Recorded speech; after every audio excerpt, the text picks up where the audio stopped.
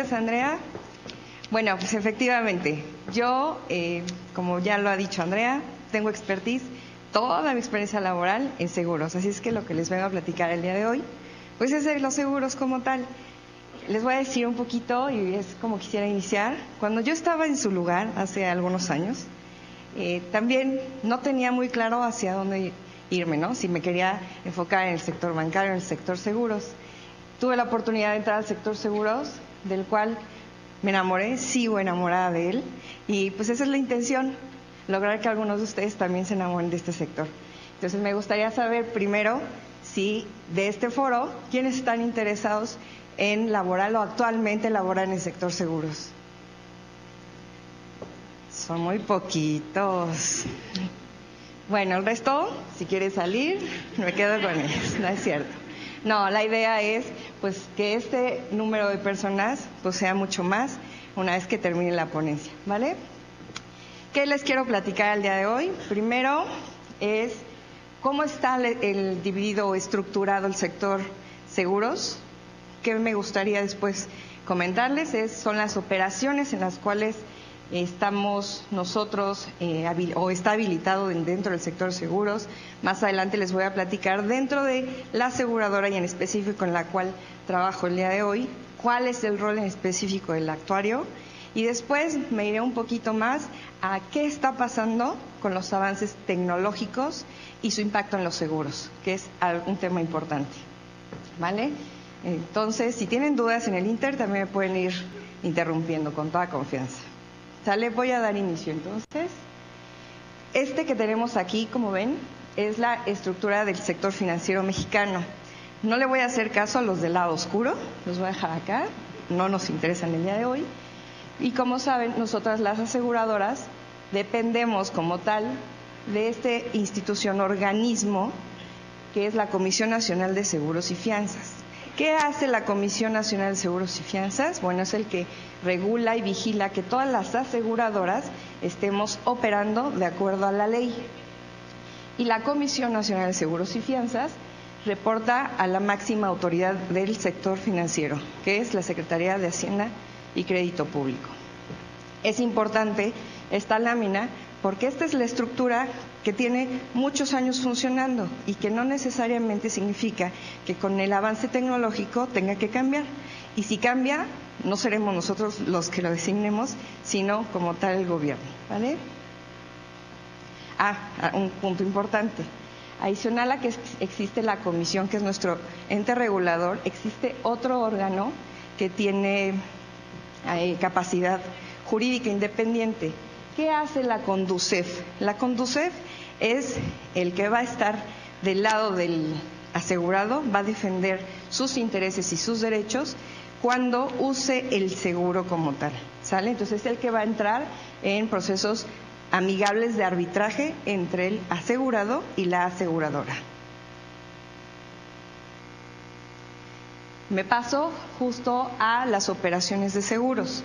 Las operaciones de seguros que, actual, bueno, que actualmente tenemos, porque así es como está estipulado dentro de la ley, son operaciones de vida. ¿Saben qué cubre un seguro de vida? ¿Qué cubre? Exactamente, caso de fallecimiento.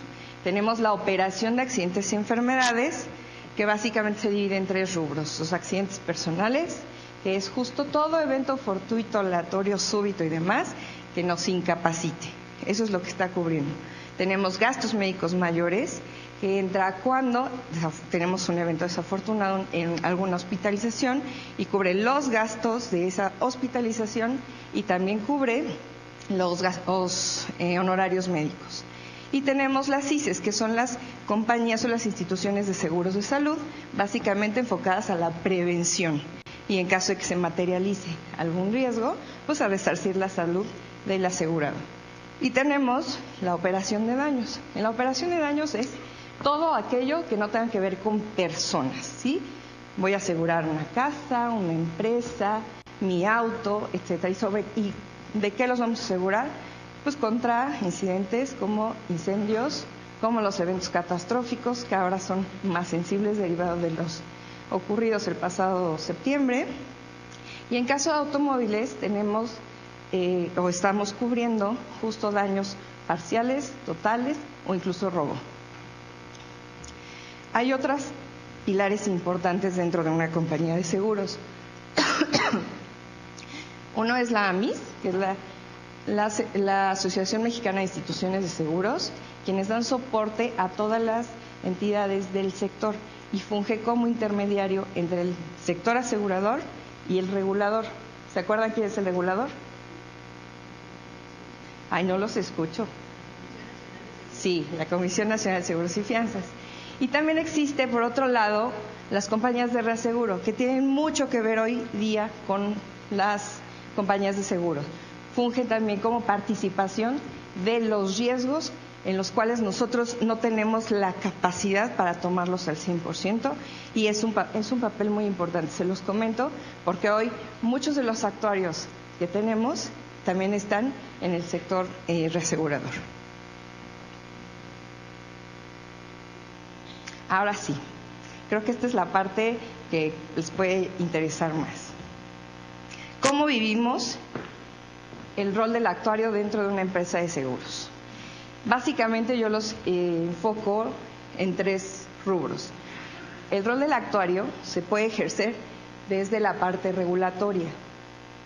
Eh, como les comentaba, eh, la Comisión Nacional de Seguros y Fianzas es la que va a vigilar que todas las aseguradoras estén de acuerdo a lo estipulado en la ley. Entonces, si ellos nos van a vigilar, pues en este paso, pues claramente tiene que haber actuarios técnicos especialistas que puedan desempeñar esa función. ¿Sale? Entonces, desde aquí hay pues, actividades que ustedes pueden desarrollar. Me voy a enfocar más en esta parte, que es justo ya dentro de una compañía de seguros. Estos que ven aquí pintados, no crean que son los únicos en los cuales se pueden desempeñar. Existen muchas otras áreas, pero estas son las principales, ¿vale? Hay áreas que no están mencionadas aquí, pero se las mencionaré un poquito más adelante. Pero básicamente estas, que es diseño de productos, evaluación y riesgos, en su totalidad, o prácticamente en su totalidad, están integradas de actuarios. Ahora bien, ¿por qué les decía que es importante tener eh, en cuenta la estructura del sector? Pues porque de acuerdo a la normatividad, un actuario dentro del diseño de productos tiene que estar certificado, tiene que avalar que sus conocimientos son adecuados para llevar a cabo un registro de un producto, un desarrollo y una tarificación. Por otro lado, también los actuarios que trabajan en evaluación necesitan estar certificados ante la Comisión Nacional de Seguros y Fianzas o ante el CONAC para poder desempeñar sus actividades como actuarios expertos en evaluación. Y también, a su vez, existen actuarios que pueden estar combinados entre evaluación y riesgos para garantizar la solvencia de las compañías. Y también existe una certificación especial para poder ejercer esas funciones. ¿Sale? Ahorita les voy a, a comentar un poquito más. ¿Qué pasa dentro de una compañía de seguros? Dentro de una compañía de seguros, el primer paso, digamos, es la necesidad de crear un nuevo producto. Ese nuevo producto como tal, ¿quién lo hace? Pues justo aquí está la capacidad creativa, ¿no?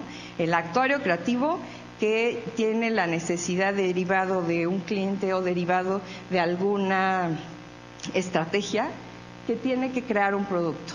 ¿De acuerdo a qué lo hace? De acuerdo a la estadística suficiente con la que cuente la compañía. Si no se cuenta con información suficiente, también puede recurrir a información del sector para poder hacer su tarifa. Entonces, este actuario es como tal el responsable de definir cuál es el precio que le va a dar al riesgo que quiere este que quiere lanzar, ¿vale? Hasta ahí vamos bien. Bien. Una vez que está desarrollado el producto, este se pasa al actuario de suscripción. ¿Qué hace el actuario de suscripción? El actuario de suscripción lo que dice es, a ver, yo tengo un producto, yo como suscriptor, ¿qué quiero?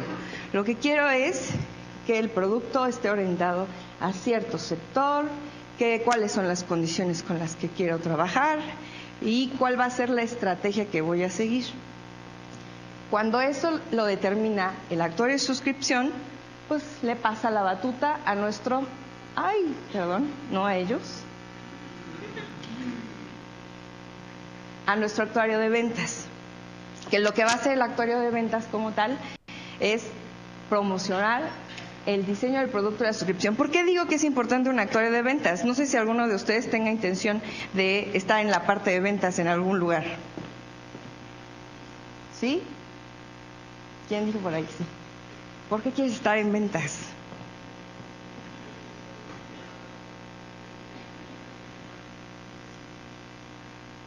Pues una justo de las necesidades que tenemos en las compañías de seguros es esa, que no, es que no lo hagan bien nuestros, nuestros representantes, pero qué mejor que un actuario, que es el que conoce el funcionamiento o el diseño del producto, que conoce cuáles son las reglas que están poniendo para lograr transmitir eso al cliente en términos comunes y coloquiales. Ciertamente eso es lo que falta mucho, ¿eh?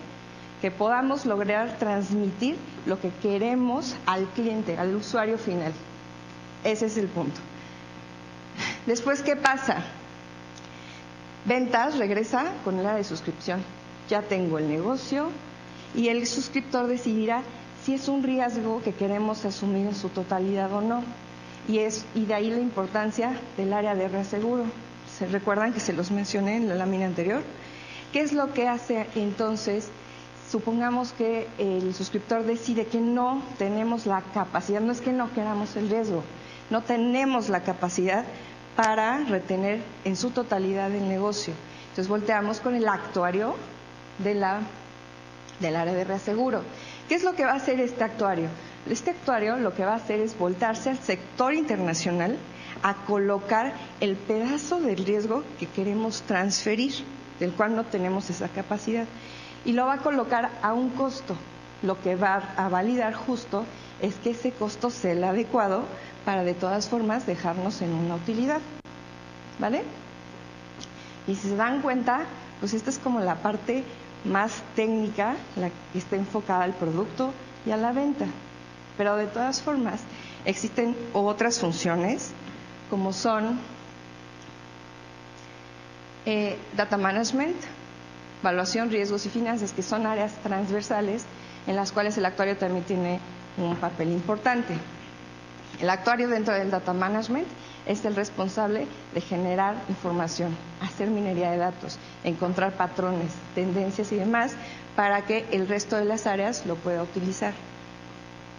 El actuario de evaluación, que en conjunto con el área de diseño de productos, se va a encargar de tener los recursos suficientes para hacer frente a las obligaciones que estén dentro del producto y que hemos adoptado una vez que se ha suscrito el negocio. El área de riesgos, yo les puedo decir que el área de riesgos es una de las áreas más completas que tiene una compañía de seguros. Claro, también depende justo de la ambición que tenga la compañía y el tamaño de la compañía. El actuario de riesgos, además de, de hacer modelos, que los modelos se hacen también en evaluación en diseño de productos y en suscripción ocasionalmente, lo que hace es modelar otro tipo de riesgos, no necesariamente inherentes al seguro. Lo que hace es valorar riesgos operacionales, riesgos de crédito, riesgos financieros, riesgos de contraparte y otro tipo de riesgos inherente a la operación y o al seguro. ¿Sale? Y finalmente, ay, perdón, la tecnología y yo estamos un poco peleados. Y finalmente tenemos el actuario dentro de las finanzas. Aquí es cuando vamos a ver materializado si lo que toda la cadena hizo está bien o no está bien. Es decir, voy a ver si el producto está siendo rentable o no está siendo rentable. Es decir, mi actuario en esta parte también va a ser capaz de proyectar, de hacer modelos eh, de proyección para ver si en determinado tiempo, si a un año, a dos o a cinco, el producto es rentable. Y si no es rentable, en qué parte no es rentable, para poder tomar las decisiones desde acá y reorientar la estrategia del, producto. ¿Sale? Entonces, si se dan cuenta, la gama en la que tienen eh, pues literal trabajo es bastante. Depende de cuál es el perfil que ustedes quieran seguir. Ahora bien, ¿qué es importante comentarles también? Todos estos roles se viven dentro de cada una de las operaciones de seguros. Las operaciones que les mencioné en vida, en accidentes y en daños, ¿sale? Entonces, la gama pues, se hace todavía más grande, ¿va? Y desde aquí es el momento en que podemos ir empezando a perfilarnos hacia donde es que nos quisiéramos mover. Y otro rol súper importante, me parece, es el del intermediario. ¿Ustedes han escuchado que las aseguradoras no pagan? ¿O que están en letras chiquitas? ¿Y por qué creen que pase?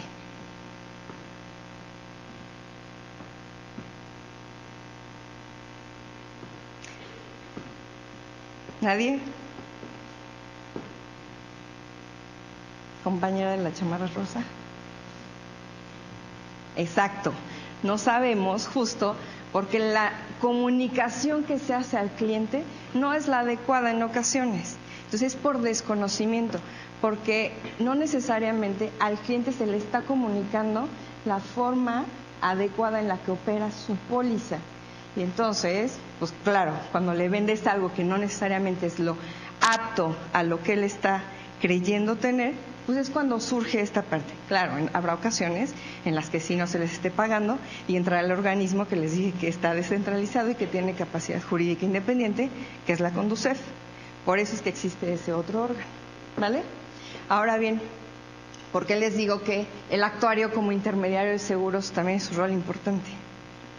Porque así como les comentaba que el actuario en ventas es el que comunica, el que logra hacer que la gente entienda o el cliente último entienda el producto, pues también el intermediario lo hace y lo hace de una forma mucho más noble. Hoy lo que hemos estado viendo en el sector es que muchos de los actuarios se están volviendo agentes de seguros. ¿Por qué? Pues porque justamente tienen esa facilidad, porque conocen todo el producto, conocen toda la operación y es de forma natural la comunicación que se hace al asegurado. ¿Vale? Ahora bien, no es comercial y yo no soy intermediario de seguros, por supuesto, pero desde el, desde el momento en que se vende la primera póliza, están creando un patrimonio. Que no es que no lo tengas acá, pues acá puedes comprar cosas y tu casa y demás, sí, pero el patrimonio como tal, desde la venta del primer de primera póliza, ya tienes un patrimonio. ¿Vale? Entonces, no sé si hasta ahí tengan alguna duda inquietud. No. Perfecto. Ahora bien, ¿qué está pasando con los avances tecnológicos dentro de los seguros? Pareciera que los seguros se han quedado estáticos durante mucho tiempo. Para eso es pareciera. Pero afortunadamente sí que hemos ido avanzando. ¿Qué es lo que está pasando hoy día? Bueno, tenemos ya aplicaciones móviles para seguros. No todas estas aplican en el sector seguros mexicano, hay muchas otras que están en el seguro internacional, pero ya se cuenta con aplicaciones móviles para que tú con la aseguradora que quieres comunicarte o, o contratar o cotizar una póliza lo puedas hacer a través de tu celular. Es comunicación directa. Ahora bien, también, y no sé si ya lo hayan escuchado por ahí, seguros de corto plazo. Anteriormente lo que tenemos o lo que teníamos son periodos preestablecidos. Generalmente las pólizas tienen una duración de un año, al menos. Hoy, de acuerdo a las necesidades y a la demanda del mercado, estos seguros se han vuelto de muy corto plazo en ocasiones. Compras lo que necesitas y en el momento que lo necesitas. Caso Uber, ¿lo ubican? ¿Sí? En, en, caso Uber lo que está pasando es que estás cubierto siempre y cuando la aplicación esté en funcionamiento. O ahora el nuevo producto que una compañía acaba de lanzar, AIG, que es seguro por kilometraje. Yo pago de acuerdo al número de kilómetros recorridos. Entonces, se dan cuenta, esos son cambios que están moviendo a todo el sector, al sector tradicional de seguros. Existen los nano insurance, no sé si los hayan escuchado. Justo que es, antes yo aseguraba mis bienes como tal. Cuando hablamos de bienes, mi casa, mi coche, este, y etcétera. Hoy lo que aseguramos es mi guitarra, mi bicicleta, mi celular, ¿sale? O sea, hoy estamos siendo mucho más personalizados o detallados en un tipo de cosas que estamos asegurando. Antes no se tenía esa flexibilidad. Tenemos los ciberseguros. ¿Por qué? Pues justo lo que estamos haciendo hoy es comunicar todos nuestros datos a través de Internet, ¿no? Cotizamos un boleto de avión, Internet. Quiero cotizar un seguro, mis datos están en Internet.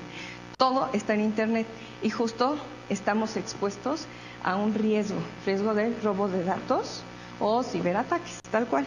Esos son los nuevos seguros. Y también tenemos seguros personalizados. Aquí entra todo lo que se les ocurra, ¿no? Hace unos años teníamos los seguros de cáncer, especiales para hombre, especiales para mujer, el seguro de mascotas, ajá, y otros. Entonces, estos son los que nos están revolucionando hoy el sector. ¿Con qué? Pues con la tecnología, con la información. Anteriormente lo que teníamos era justo la experiencia propia que iba generando las aseguradoras. Hoy todos los que traemos un dispositivo móvil estamos todo el tiempo compartiendo información, todo el tiempo. Y esa información hay empresas especiales que se dedican a almacenar, a tratar y, por supuesto, a vender con compañías de seguros para que también nosotros podamos ser mucho más dinámicos en ello, ¿vale? Entonces, no es cierto que el seguro sea estático, el seguro se está moviendo. Y en México se está moviendo un poco más lejos de lo que se está moviendo en el mundo, ¿vale? Hasta aquí, ¿dudas? ¿No? Bueno. Ahora les voy a platicar. Yo vengo de AXA, ¿no? Entonces, en AXA Grupo, cuando digo AXA Grupo, pues la matriz está en Francia. ¿Qué tiene AXA Grupo? AXA Grupo tiene un laboratorio como tal. Lo que ha hecho es generar un ecosistema apto para crear ideas disruptivas, ¿no? Cuando son ideas disruptivas es lo más loco que se puedan imaginar, pero en el ambiente adecuado. Entonces está segmentado en la, en la parte que se genera ideas, en la parte cuando se genera una startup. Todos tienen claro que es una startup. ¿Qué es? Sí, tú. ¿Sí?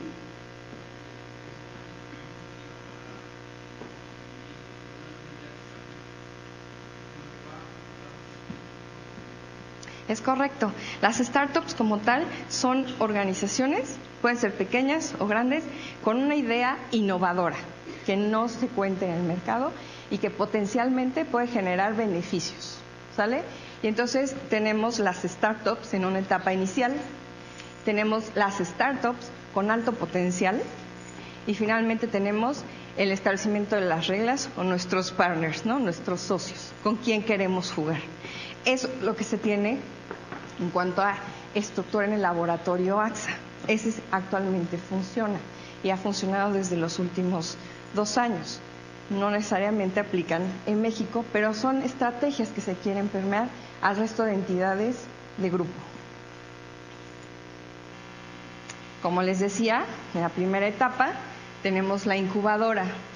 Es crear ideas con recursos internos o externos para al final crear ideas emprendedoras. ¿Sale? Entonces, si son creativos, también acá hay un, un lugar donde pueden estar. ¿Vale? ¿Dónde está implementado esto? Eh, y hablo, ojo, nada más de las entidades en las que AXA tiene presencia es en Europa, Estados Unidos y Asia.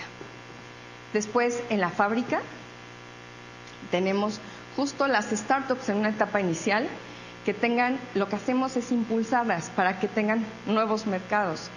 Lo que la intención de AXA es escalarlos y, por supuesto, que globalmente también tengan presencia en las entidades de Grupo AXA. No tiene presencia en Francia y se está evaluando otros países. En AXA Strategic Ventures, ahí justo lo que habíamos visto eran que eran las startups con alto potencial. AXA quiere invertir en ellos, ¿no? y tener acción de ellos, para con ello también generar un desarrollo comercial con AXA. Yo te ofrezco los seguros, te lanzo, invierto en ti y lo, potenciamos. ¿Sale? una de las características de las startups es que tienen un costo de operación realmente bajo y las ganancias son exponenciales. ¿Dónde está implementado esto? San Francisco, Nueva York, Londres, París, etcétera, otras. Y finalmente está la etapa de los socios, ¿no? ¿Con quién queremos trabajar? ¿Cuáles son los roles de cada uno de las personas o los entes que queremos invitar a participar en ello? Y justo esto pues, se hace de forma local, ¿va? Y dependiendo de la estrategia que se quiera lanzar.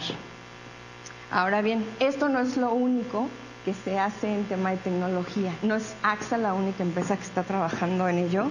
Y es por eso que también les quiero presentar un video que me compartió un contacto reaseguro para que vean lo que se está haciendo en términos tecnológicos a nivel mundial. ¿Vale? Pero no se duerman, please.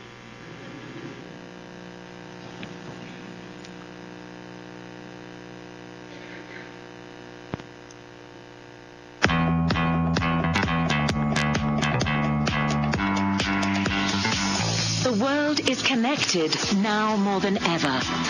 The Internet of Things will take this further than we can possibly imagine today. By 2020, an estimated 50 billion devices will connect our planet of 8 billion people, linking people with their homes, cars, work, medical information, and communities generating an immense amount of data to be analyzed and monetized. With this explosive growth comes tremendous opportunity. The insurance industry will be forever transformed. 81% of insurance executives believe the Internet of Things and connected insurance will significantly or completely change the industry. Consumers welcome it. 46% say they'd pay more for personalized real-time services and would share more personal data to get it. The Internet of Things offers new ways of assessing risk and tailoring pricing with precise real-time data. Insurers believe one of the biggest benefits will be better data for claim settlements. Better data also allows insurers to offer new, personalized risk protection services. Data from smart homes and car telematics can be used to incentivize good habits and create new products and services to meet the customer's needs every day. The Internet of Things will be a game changer. But to succeed, insurers need to embrace the opportunity.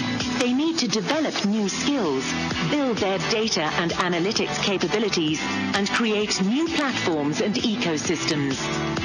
On this digital transformation journey, Accenture can be your partner. We have the vision, the industry knowledge, the skills and the capabilities to help develop and execute the right strategies. Are you ready?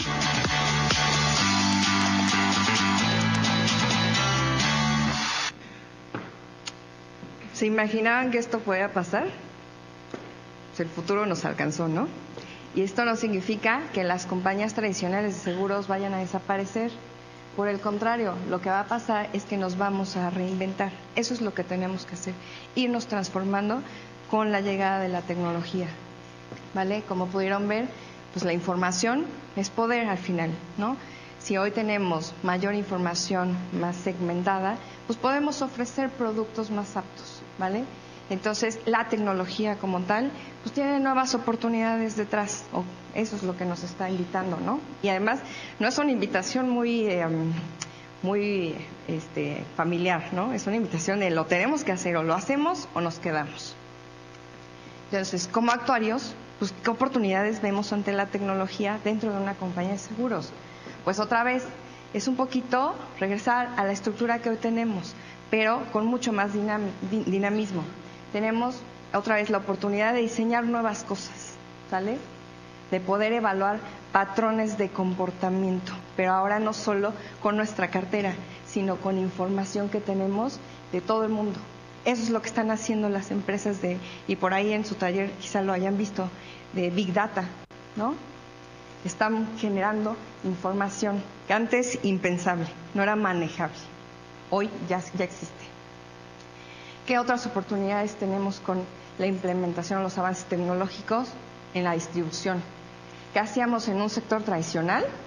Pues me voy con mi agente, me voy con mi broker, con los canales tradicionales, ah, pues en mi empresa me dan el seguro, pues a través de ahí lo contrato. Pues no es la idea hoy. Hoy también existe la necesidad de tener canales alternos que estén más cerca de todos ustedes, sobre todo los millennials, ¿no? A ustedes ya no les gusta ir a una oficina a contratar, ustedes lo hacen por internet. Si tuvieran que hacer un pago o comprar algo, pues lo hacen en línea. Para ustedes es muy natural y es en, los que, en lo que tenemos que enfocarnos, en crear nuevos canales de distribución. Tenemos la emisión y administración. Esta es una muy grande área de oportunidad dentro de las compañías tradicionales de seguros. Hoy cuando eh, pedimos una póliza, en promedio se tardan de 15 a 20 días en entregárnosla y nos la entregan física. No sé si a ustedes les guste, creo que ya no, ¿verdad? Tener papeles. Entonces todo otra vez es digital. Al volverse esto digital, pues la misión de las pólizas, en cuanto yo lo requiero, la tengo, es inmediata. Y eh, tenemos el tema, la gran oportunidad, y lo vieron en el video, pues hoy tenemos mucha información. En caso de desastres naturales, por ejemplo, pues tenemos acceso directo a la información. Antes, y por ejemplo lo vivimos con un evento eh, de, de, fenómenos naturales como Odi, ubican el huracán Odi, ¿no? Bueno, este huracán fue este, catastrófico, afectó a la península de Yucatán gravemente y justo lo que ocasionó fue que cortara los vías de acceso. Entonces era complicado poder llegar a las zonas afectadas, porque los peritos pues no podían llegar por aire porque se priorizaban los víveres y la ayuda. Y entonces para poder llegar a ayudar al asegurado teníamos que esperar de 20 a 30 días solo para el acceso. Con esta tecnología, a través de los drones, por ejemplo, podríamos llegar de forma prácticamente inmediata y dar el servicio que el asegurado espera en los momentos de mayor necesidad. ¿Vale? Entonces, todo se va ajustando, todo se va revolucionando, inclusive el servicio. Y por ende, pues también tenemos oportunidades en cuanto al acercamiento con el cliente. Hoy lo vamos a personalizar lo puedo contactar. Ya no necesariamente tengo que hacer una cita presencial con el asegurado. Lo que necesito, lo que puedo hacer es, ¿qué hacen ustedes? Chat, ¿no? Eso ya existe en chat para poder comunicarse de forma directa y más rápida y personalizada con el cliente. Pero pues toda oportunidad también tiene un desafío detrás, ¿vale? ¿A qué desafíos nos enfrentamos? Básicamente a un tema de publicidad, transparencia e información. ¿Por qué creemos que es un desafío? Pues porque hoy justamente, si ustedes consultan la información en la red, ¿qué esperan que esté ahí? Pues la verdad, ¿no? Y que los análisis comparativos entre una compañía y otra pues sean los adecuados. No solamente hay que fijarnos en el precio, sino también en qué está ofreciendo la compañía detrás como servicio. Entonces lo que tiene que venir dentro de la red, pues es la información verídica y comparativos que sí puedan tener esa sensibilidad, no solo de precio. Otro de los desafíos es la educación financiera. Si hoy es complejo poder asegurar a gente, pues lo que estamos buscando, o uno de los desafíos importantes aquí, pues es este. ¿Cómo hacemos que a través de la red nuestros aseguras conozcan los seguros y sobre todo seguros que son un poco más complejos. Los seguros de vida con componentes de ahorro. ¿Cómo se los explicas si no los tienes enfrente para pintarles los, números? Es lo complicado. Entonces, tendríamos que hacer productos para segmentos muy específicos para que lo puedan ellos absorber y tomar una decisión adecuada, con poca información y que la información que sí se dé sea personalizada. Entonces tenemos que crear ese canal de comunicación. la conducta del mercado. Esto es algo que todo el tiempo está cambiando, ¿no? La demanda. Hoy queremos seguros de tres días. Ahí está. Quiero un seguro porque me, quiero ir a esquiar. Ahí está. Quiero un seguro porque me voy a lanzar de él paracaídas. Todo eso aquí está. Entonces, lo que se están haciendo es, son genera, es generar eh, productos muy personalizados, que en algún momento puede llegar a tener demasiada disparidad entre una compañía y otra. Entonces, hay que mediar justo el cómo lo queremos hacer ante el sector, ¿eh? porque acuérdense que el sector tiene que jugar con las mismas reglas. Y finalmente los riesgos cibernéticos, que hace un momento lo comentamos. Hoy todas las compañías de seguros y ustedes mismos usan, comparten datos, transforman datos. Entonces estamos expuestos a pérdida de ellos o a ataques, a robo como tal. Entonces, ¿cómo creamos plataformas robustas para impedir que estos riesgos se materialicen? ¿Sale? Entonces, todos estos son desafíos en los cuales, por supuesto, que el rol del actuario es fundamental, por lo que ya se había comentado, ¿vale? Ahora bien, todo esto también implica modificaciones en el sector, en el regulador, porque también no podemos esperar, hoy más o menos lo que como ocurre es, cuando yo tengo un producto listo, lo que tengo que hacer es irlo a registrar ante el regulador, a la Comisión Nacional de Seguros y Fianzas. Ese regulador, después de cierto tiempo y de hacer los análisis respectivos, define o determina si el producto es apto o no.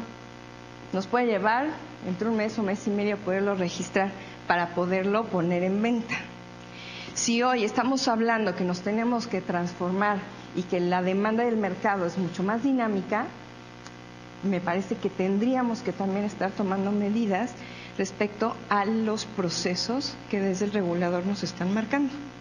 Entonces, ¿se dan cuenta? Todo esto está revolucionando al sector. Todo. Y así, pues también nosotros como usuarios de los seguros, pues también tener mejores beneficios, ¿vale? Y bueno, básicamente es lo que tengo en la presentación.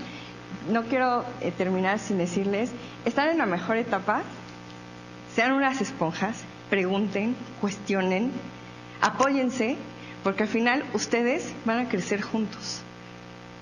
Y pues como se los comentan sus, sus maestros en cuando están en clase. No hay preguntas tontas. No hay preguntas tontas en clase y menos en el trabajo.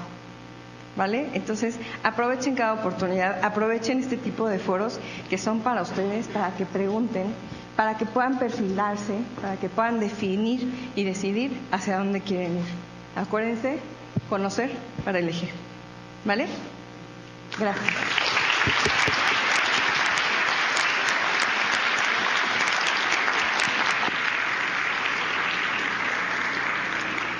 ¿Tienen alguna duda?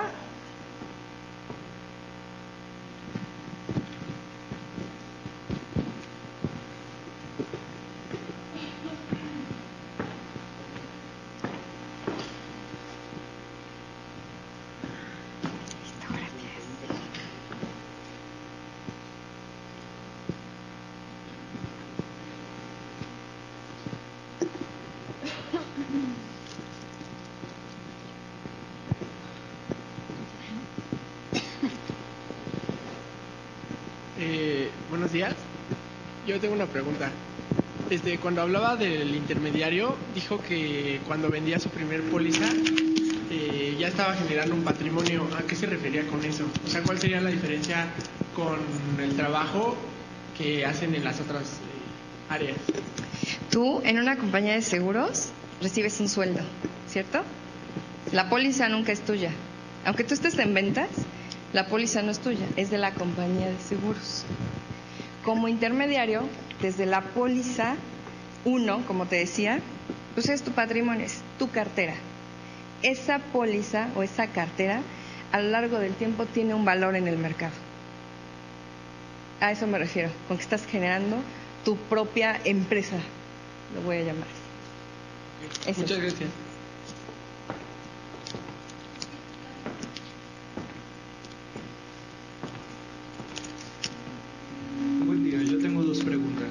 Primera es, ah, hablando de los nanoseguros, me gustaría saber de dónde sacan la estadística para poder construirlos.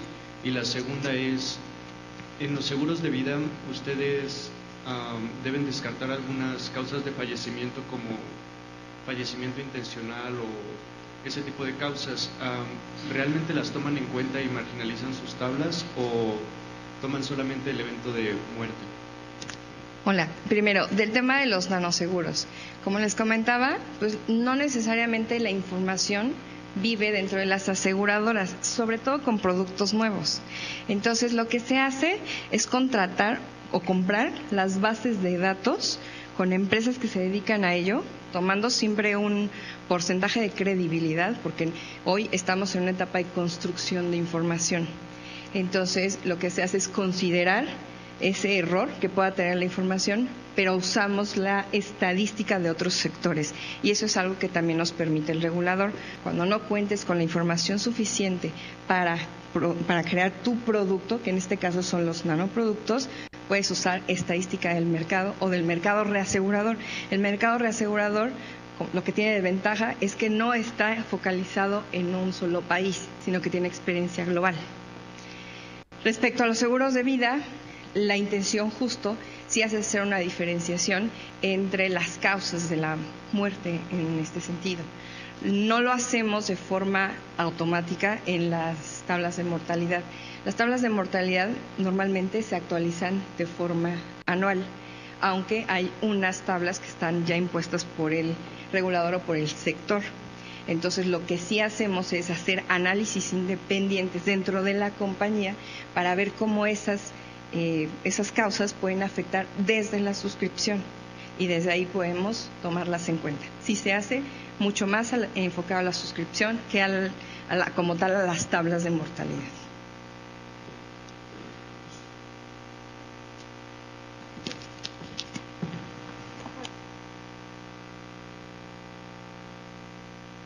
Sí, agradecemos la presencia de la actoria. Gracias.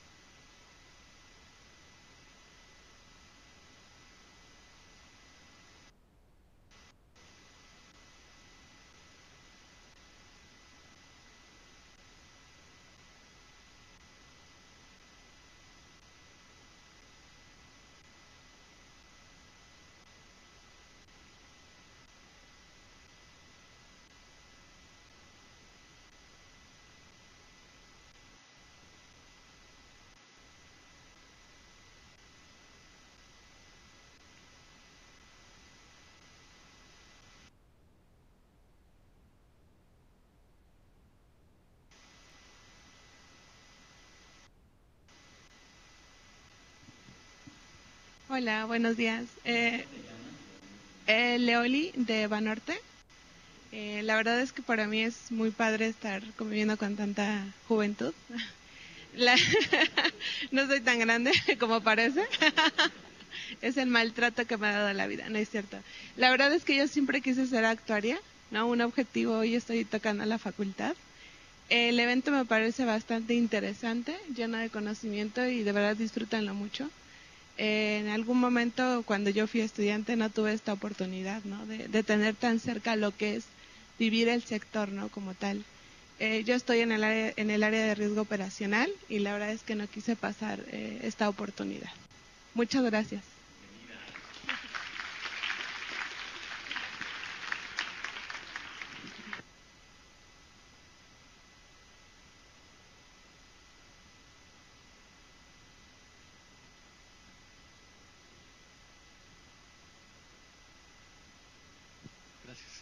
Hola, eh, buenos días a todos. Quiero pedirles una disculpa. El día de ayer escuché la plática de la diputada y tenía un comentario que hacer y no me atreví a hacerlo en ese momento. Tuve oportunidad después de decírselo en el estacionamiento y ahora se los quiero compartir. Eh, ella decía que ustedes no son ricos y la verdad es que sí lo son. Tal vez todavía no se dan cuenta, pero el estar en la oportunidad de estar en una universidad están más allá de lo que los demás tienen. Eso ya los hace ricos. Eh, después que tengan dinero es otra historia, ¿no? pero desde ahora ya son ricos. Otra cosa que ella dijo que también creo que fue un error fue decir que el gobierno tiene la responsabilidad de generar dinero. Eh, esa es responsabilidad de las empresas y de las personas que trabajan con su esfuerzo. Eh, el gobierno tiene la responsabilidad de poner bases claras para que todos los que estemos jugando podamos generar riqueza. Pero ustedes ya son ricos. Eh, que nadie les quite esa idea, ¿no? Gracias. Soy un humilde ingeniero.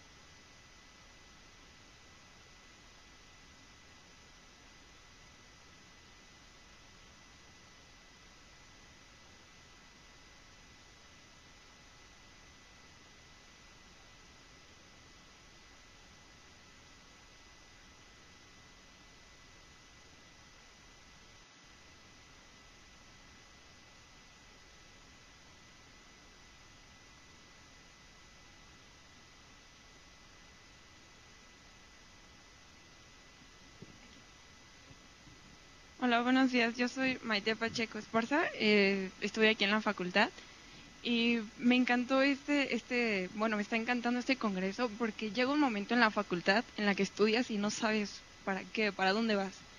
O sea, siempre te preguntan así, ¿y qué te vas a dedicar? Y tú, pues no lo sé, o sea, en realidad no te puedo ni definir qué hace un actuario. Entonces, me está pareciendo muy, muy interesante porque ya llegué en ese punto, ya estaba en ese punto en el que decía, ¿y por qué lo estudio? ¿Por qué tengo que seguir haciendo cuentitas y cuentitas y no sé a dónde voy? Entonces, me está pareciendo muy interesante, en verdad, disfrútenlo chicos. Eh, si tienen la oportunidad de invitar a más compañeros que vengan, porque, o sea, nos están dando un panorama de a dónde vamos. Y bueno, a mí me está motivando demasiado. Muchas gracias a todos los que están trabajando para esto. Les agradezco muchísimo por hacer esto. Todo.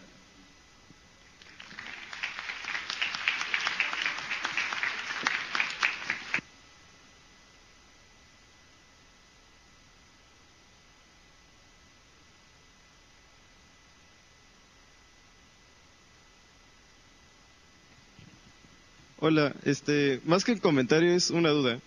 Eh, bueno, es la primera vez que vengo a, este congreso porque veo que es la primera, bueno, en lo, en lo largo que he estado acá en la facultad es la primera vez que veo que tiene o difusión o está bien organizado, pero mi duda es, este, ¿cada cuánto lo organizan? ¿Es anual? Ah, bueno.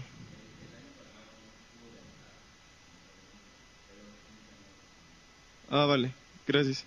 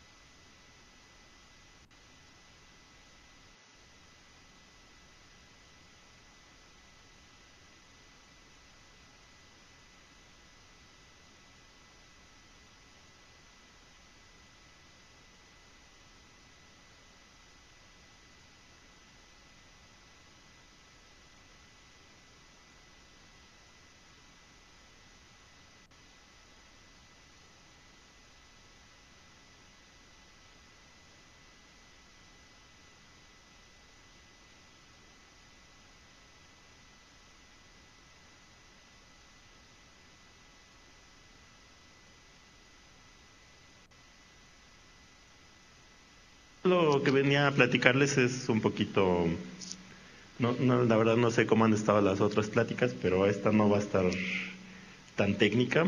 Sí, eh, sí, sí les va a dar una, la, la, idea es darles una idea de cómo está el, ahora sí que un, una de las áreas a las cuales se pueden dedicar cuando vayan a trabajar.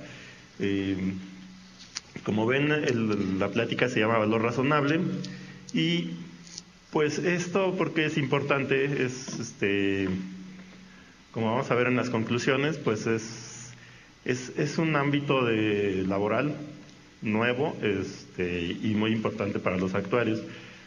Eh, valor razonable, a lo mejor muchos de ustedes aquí lo, lo hemos escuchado, eh, seguro en las, en las clases de, de finanzas, de evaluación, este, donde nos enseñan derivados, pero en realidad pues no, no en la práctica pues no sabíamos muy bien a qué se eh, a qué se refería no eh,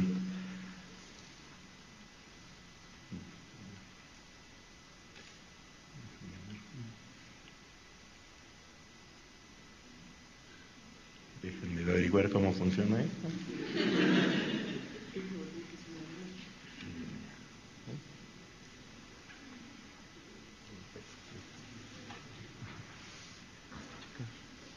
que tenemos, tenemos problemas. Eh, digo, valor razonable, lo primero que hay que saber es qué es, ¿no? Eh, ya con, con esto, eh, y, y, valor razonable, bueno, por ejemplo, aquí tenemos una Ahora sí que a lo mejor ustedes me pueden decir cuánto cuesta una cerveza en un estadio de fútbol. No sé, seguro tienen, tienen idea, ¿no? O cuánto cuesta el, mismo producto en un restaurante. O lo tenemos igual en un, pues en la tiendita de la esquina. ¿Ustedes cuánto, eh, creen que, que cueste lo mismo? Pues seguramente no, ¿ok? Estamos todos de acuerdo. ¿sí? Entonces, ¿por qué es lo, por qué es lo importante? Eh, porque seguramente el, estadio, por ejemplo, el estadio Azteca, que es una empresa privada, pues tiene que presentar estados financieros y, tendrá alguna, dentro de sus inventarios, pues tendrá algunas este, existencias de cerveza, ¿no? Igual que lo tendrá el restaurante, o la tiendita de la esquina. Y todos ellos tienen que presentar estados financieros de sus inventarios. Eh, cuánto, ahora sí que a cómo lo van a presentar para que sea comparable. No, no creo que lo puedan presentar, por ejemplo, eh, en el estadio, pues digo, costará como el doble de la tiendita. Entonces, cuando, cuando todos estos presentan sus estados financieros,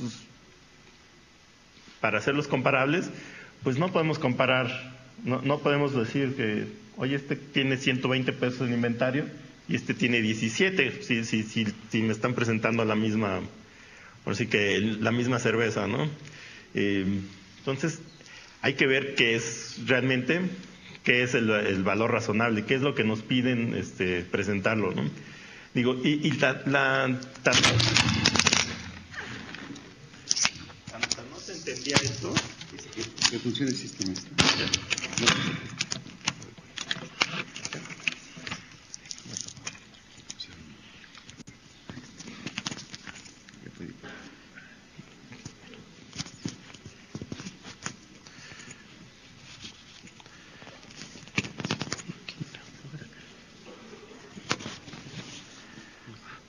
¿Se escucha? ¿Sí? Ok. Entonces estábamos en que tenemos que presentar información comparable de lo que es valor razonable.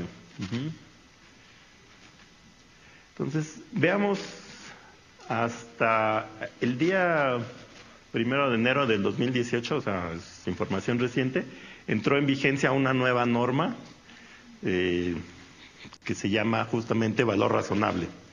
E, esa norma lo que viene es a darle unificación de criterios a cómo se debe presentar. Esto es como lo teníamos anteriormente. ¿sí? Por ejemplo, había la norma que el marco conceptual decía que el valor razonable es un valor de intercambio de una operación o estimación de este. Eso era lo único que decía. Había otras normas, eh, por ejemplo, en adquisición de negocios. En adquisición de negocios tenían su propia definición de valor razonable. Ahí decía, es el monto en efectivo o equivalentes ¿sí? que, participantes del mercado estarían indispuestos a intercambiar para la compra o venta de, algún activo en una operación entre partes interesadas y en un mercado de libre competencia. O, estaba la parte, la, norma, la NIPSE 4, que es la que nos decía cómo presentar inventarios. ¿no? Y vemos que aquí, por ejemplo, ya decía, hablaba de estimación, técnicas de evaluación, etcétera. Pero como vemos, pues, estas normas estaban vigentes hasta el 31 de diciembre del año pasado y, eran muy distintas. Entonces, se, prestaba mucho a pues a, a, criterios este, subjetivos, ¿no? De interpretación, etcétera. Entonces, como lo vimos en la crisis de, desde la crisis del 2008, pues muchos, muchas operaciones de, los bancos, todos financieros, no eran comparables. ¿sí? Este, entonces, fue que a nivel internacional se creó la norma IFRS 13, que, que IFRS 13 eh, nos, nos, da el marco conceptual de cómo, eh, de, cómo es lo que debemos entender por valor razonable. En México, bueno, pues siempre vamos un, poquito retrasados y, a partir, y es apenas a partir del, del primero de enero, a partir de hace 20 días, que ya tenemos la nueva norma que se llama la B17, donde viene el marco conceptual de lo que es el valor razonable. Eh, e, este no, a, pesar de que se prestaría, a lo mejor si, lo vemos desde el punto de vista de actuaría, a que vengan fórmulas y cosas así, mm, la verdad es que no es el caso, ¿no? Eh, simplemente nos da un marco conceptual, nos da ciertos principios de qué es, de cómo se tiene que calcular el, valor razonable y a partir de ahí, pues ya es donde entra, vamos a entrar nosotros en ciertos, este, sobre todo, bueno, al menos desde mi punto de vista, es en la parte de instrumentos financieros, por ejemplo, todo lo que es carta de crédito, provisiones de crédito, este, derivados, etcétera, es donde los actuarios tenemos todo, todo el conocimiento para, para, obtener el valor razonable, pero siempre hay que seguir ciertos criterios este, para que podamos presentar esta información en los estados financieros de las compañías y que sean comparables. ¿no? Entonces, lo primero, pues hay que repasar finalmente la definición. Y la definición de valor razonable, bueno, nos dice, eh, para llegar a ella, los, organismos que emiten esta norma, pues se preguntaron, ¿para qué quiero el valor razonable? Pues para dar una comparabilidad en mis estados financieros, para que sea consistente, ¿no? Que si un banco me dice que, bueno, que si la tiendita me dice que tiene un inventario que vale tanto de, de su inventario de cervezas, yo lo puedo comparar con la información que me da el estadio también. ¿no? Eh, to- todos ellos me, va- me van a, me tienen que dar información. Si, si tienen inventario de cervezas, me tienen que dar eh, cifras comparables. Entonces, ¿qué es lo que necesito? Bueno, pues establecer un marco único de cómo medir el valor razonable y obviamente de- hacer la definición. Ujú. ¿Y cuándo? Bueno, pues como les decía, esta, es, esta norma entró en vigencia el primero de enero del 2018. Y ahora sí, entonces nos, nos vamos a la definición de lo que es el, precio, el, el valor razonable. Y aquí ya nos habla de un precio de salida, así lo define la norma. Es el precio de salida que en la fecha de evaluación, o sea, la fecha en que estamos presentando información, se, se tendrá que recibir por vender un activo o se pagaría por transferir el pasivo. Acuér- Acuérdense de los que ya llevaron sus clases de contabilidad, digo, esto es contabilidad básica. Un activo son los derechos que tenemos, este, lo presentamos en el balance, o pasivos son las obligaciones que tenemos, este, también se presenta del lado derecho del, del balance. Entonces, esto quiere decir un precio de salida. Si yo tengo un activo, ¿cuánto me van a dar por venderlo y que desaparezca de mi balance? O si tengo un pasivo, ¿cuánto tendría yo que pagar para desaparecerlo igual del balance? Básicamente esa es la definición de, valor razonable. Si se fijan, trae algunos conceptos que ya venían, transacciones ordenadas, participantes del mercado, etcétera. ¿Mm? Entonces, vamos a ver, esta norma para quién aplica? Bueno, aplica para todas las compañías. Este, llámense bancos, llámese el Estadio Azteca, llámese la tiendita de la esquina, todos los que presenten estados financieros bajo, pues ahora sí que para, para los lectores, tienen que aplicar esta norma. Eh, hay algunas excepciones, por ejemplo, y, algunos de estos tienen que ver con, lo que hacemos nosotros, ¿no? Por ejemplo, planes de beneficios empleados, aquellos que se vayan a dedicar a pensiones, bueno, eh, ellos están exceptados de esta, de esta norma, ¿no? Eh, algunos otros activos de larga duración, pues básicamente son inventar, este, ahora sí que edificios, etcétera, eso también se rige por su propia norma. Pero todo lo demás, como les decía, créditos, cartera de créditos, eh, instrumentos financieros derivados, si, si queremos presentarlos a valor razonable, tenemos que aplicar los principios que nos da esta nueva norma. Entonces, ahora sí viene entonces, ya, ya que tenemos la definición precio de salida, pues hay que ver qué, qué, qué- cómo lo determinamos, ¿sí? qué principios hay. Y aquí, bueno, an- antes de pasar a las fórmulas y ver de dónde obtenemos insumos, todo eso, pues hay que hacer algunas definiciones básicas que nos pide también la norma. La primera es, en en algún lado de la norma se habla de unidad de cuenta o unidad de evaluación. ¿Esto a qué se refiere? Ah, no siempre es lo mismo la unidad de cuenta que la unidad de evaluación. Unidad de evaluación es muy sencillo, es lo que, lo que vamos a evaluar. Mientras que unidad de cuenta es lo que se, cómo lo registramos. Entonces, por ejemplo, eh, si compramos un, un futuro, su, unidad de cuenta es individual. Yo tengo que registrar un futuro. Eh, ¿Cómo lo voy a evaluar? Pues lo voy a evaluar igual, un futuro. Entonces, en ese caso sí, sí coincidirían mis, mis unidad de cuenta con mi unidad de evaluación. Pero, por ejemplo, los bancos. Los bancos otorgan créditos, ¿sí? Otorgan crédito hipotecario, por ejemplo, un crédito de consumo, un crédito, una tarjeta de crédito. A lo mejor todos aquí tenemos una tarjeta de crédito. Entonces, no sé cuántos seremos, 200 personas. Ten- tenemos, si, si todos lo tienen con el mismo banco, pues el mismo banco tiene registrado 200 tarjetas de crédito dentro de su balance. ¿sí? Entonces, el banco tiene que presentar dentro de sus estados financieros al cierre de año, decir cuánto valen, así que en base al consumo que ustedes tienen, pues tiene que evaluarlo y presentar cuánto vale. Evidentemente el banco no lo hace uno por uno, ¿sí? no, no va a evaluar este, la tarjeta de crédito, la de ustedes, este, la tuya, etcétera, sino que va a evaluar el portafolio completo. Entonces ahí, por ejemplo, ya no es lo mismo. La unidad de cuenta, que es como lo registra, no es la misma que la unidad de evaluación. ¿sí? Entonces, lo, lo primero que tenemos que hacer es definir, bueno, o identificar claramente cuál es la unidad de cuenta, cómo lo estamos registrando y cómo lo vamos a evaluar. Que con este ejemplo, pues, creo que ya vimos, o que queda claro que no siempre es lo mismo. ¿no? Eh, por ejemplo, otros ejemplos donde no es lo mismo, por ejemplo, es cuando tenemos notas estructuradas. Y, eh, digo, no sé si, si todos aquí ya conocen lo que son notas estructuradas, pero notas estructuradas básicamente es como componer un instrumento de deuda y un derivado junto, ¿no? Eh, por ejemplo, no sé, si ustedes invierten en algún instrumento, eh, con algún banco y el banco les dice, ah, yo te garantizo, no sé, si, tú me, inviertes esto durante un año, te voy a dar 5% de rendimiento. Pero si la bolsa en ese mismo lapso subió más allá del 10%, te voy a dar un rendimiento adicional. ¿no? Entonces, a nosotros como clientes el banco nos lo ofrece de, oye, este es un instrumento financiero y, te garantizo ese rendimiento.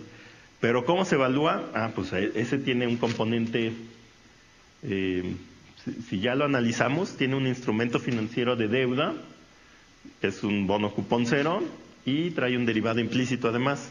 Entonces se, puede evaluar por separado. Entonces ahí el banco lo registra como un solo instrumento pero su evaluación es por separado.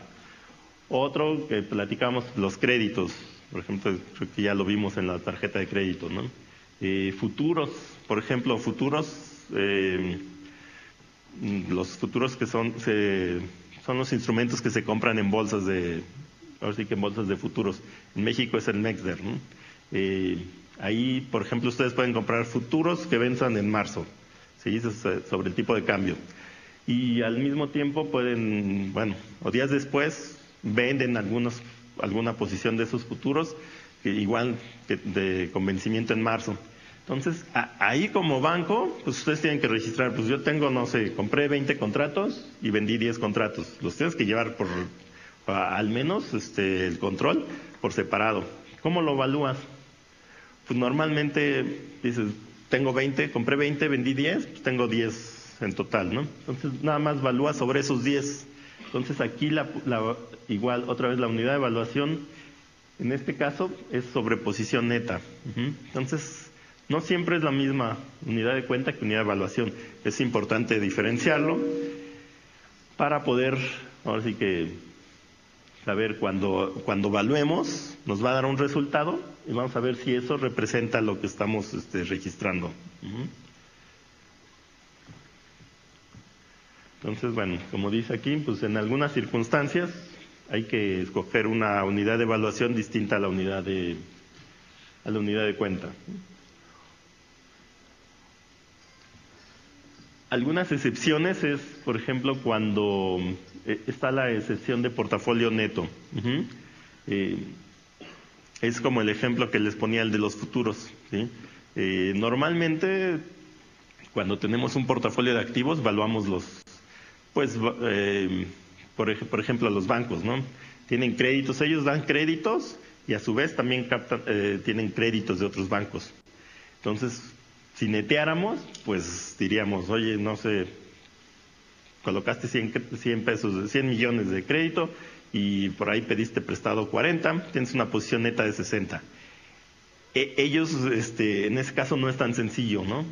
Eh, porque pues ahí, hay otros factores que influyen, que influyen. Pero en el ejemplo que poníamos de los futuros bursátiles, este, es muy sencillo que ellos sí entran dentro de, esta excepción, ¿no? Eh, se, puede evaluar eh, si, lo llevamos en, posición neta. Para, para acceder a esta excepción, pues tenemos que cumplir con algunas este, con algunos requisitos, ¿no? Eh, por ejemplo, que el grupo, o bueno, en este caso el portafolio, se gestione sobre una base neta, ¿sí? En el caso de los futuros es evidente que pues, a la dirección le interesa saber cuánto tiene de posición, así que de posición neta, ¿no? De, yo nada más tengo 10 contratos largos, ¿sí? No me importa si compraste 40 y vendiste 30. Eh, para mí lo importante es que tenemos 10, una posición de 10 contratos largos. Y, la información que se proporciona a la dirección también se dé en, este, en esta base. Y aquí es muy importante porque últimamente las normas, no nomás la de evaluar, la de la norma esta de valor razonable, sino hay otras normas este, de presentación, muchas, muchas las nuevas normas van hacia este, hacia este sentido, que la información que se presenta a los lectores de los estados financieros se pueda eh, refleje realmente lo que es lo que está haciendo la compañía. ¿sí? En, ese sentido van a ver, no sé si, eh, si vayan a tener otras pláticas, eh, por ejemplo, de... Hay otra norma muy importante que está en vigencia a partir de este primero de enero del 2018, que es la norma eh, IFRS 9 o, el, o en mexicanos es el C10, que habla de todos los que es instrumentos financieros. ¿sí? Eh, esa norma también eh, ya, ya está tratando de, a ver, si tú me vas a presentar esto en los estados financieros, es porque así lo estás manejando, ¿sí? Es porque así se maneja tu, tu negocio. Anteriormente eh, era muy, era muy este, socorrido que pues se presentaba información financiera y, la dirección tenía otra información totalmente diferente. Decían, pues que mis estados financieros, así como los recibo del auditor, los echo en el cajón y los guardo porque nada más para lo único que me sirven es para ir al banco a pedir un crédito. Pero yo la verdad es que así no me manejo. Entonces eso está cambiando. Ahora si vas a presentar tus en tu situación eh, financiera es porque así lo estás manejando. ¿no?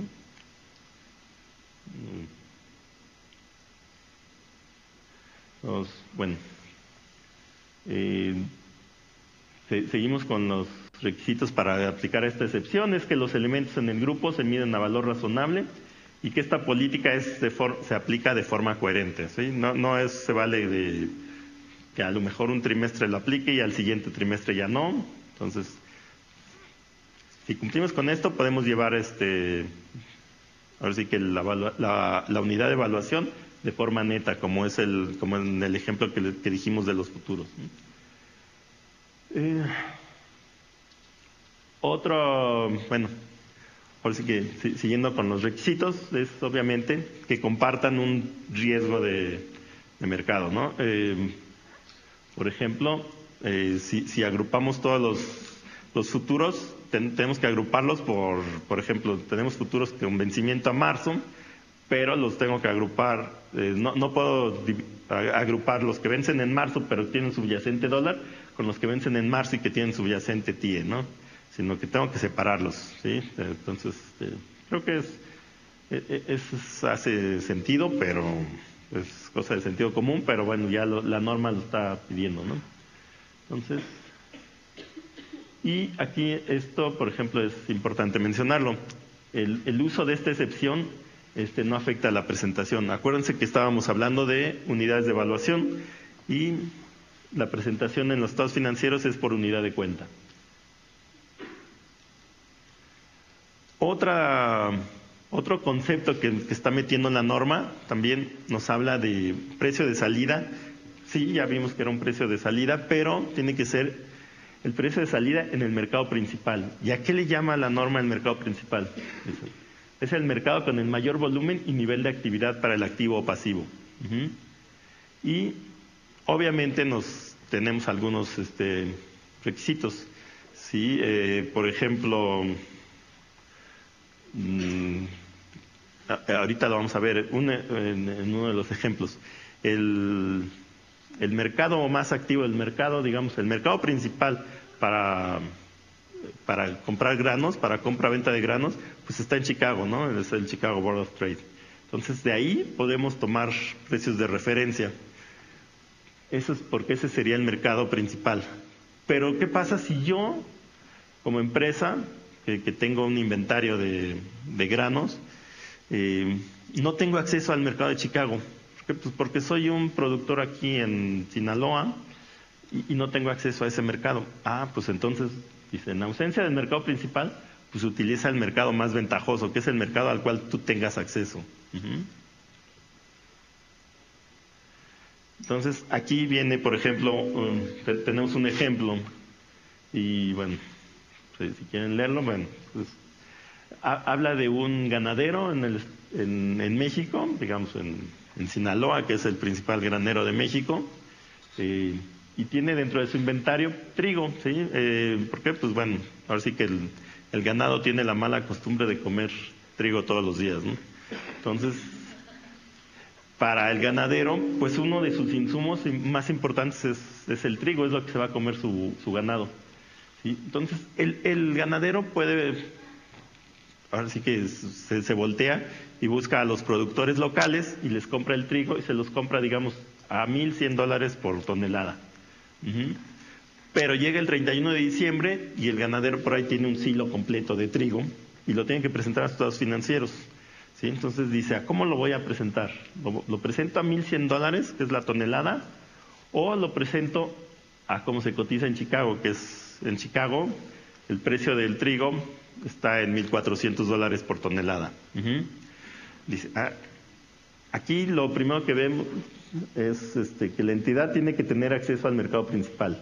Entonces, en este ejemplo, estamos suponiendo que el, ganadero de Sinaloa pues, no es tan chiquito y tiene acceso por medio de algún broker. Eh, el acceso tiene acceso por medio de un broker a Chicago. Digamos, si él quisiera, podría comprar en Chicago a este precio. Si, si el mercado local no le fuera suficiente, podría voltearse con, con Chicago y decir, necesito otra tonelada adicional por 1.400 dólares. Nada más que pues, traerlo de Chicago a México le, implicaría 100 dólares de transporte. Eh, ahora sí que, digamos, son los costos de, transporte. ¿no? Entonces, aquí la pregunta es, ¿cuál creen ustedes que sea el valor al cual este ganadero o esta empresa tiene que presentar en sus estados financieros el, ahora sí que eh, tiene que evaluar su silo de trigo que tiene ahí guardado, pues lo tiene que presentar eh, porque es un activo para él. Entonces, ¿cuál creen que sea el valor al cual? Yo aquí veo tres opciones, ¿no? Eh, podría presentarlo a 1.100 dólares, que es el precio en que, lo compró aquí en México, 1.400, que es el precio en que está en Chicago, o 1.400 menos 100, que sería realmente el costo de, de traslado. Eh, ahora que comprarlo en Chicago y traerlo a México. Entonces, no sé, a ver, ¿quién, quién vota por 1.100 dólares? ¿Quién da más? ¿No? ¿Nadie? ¿1.400? Allá hay algunos que dicen 1.400. Entonces, supongo que los demás votan por 1.300. ¿Sí? Bueno la respuesta correcta es 1.300 dólares, ¿no? ¿Por qué?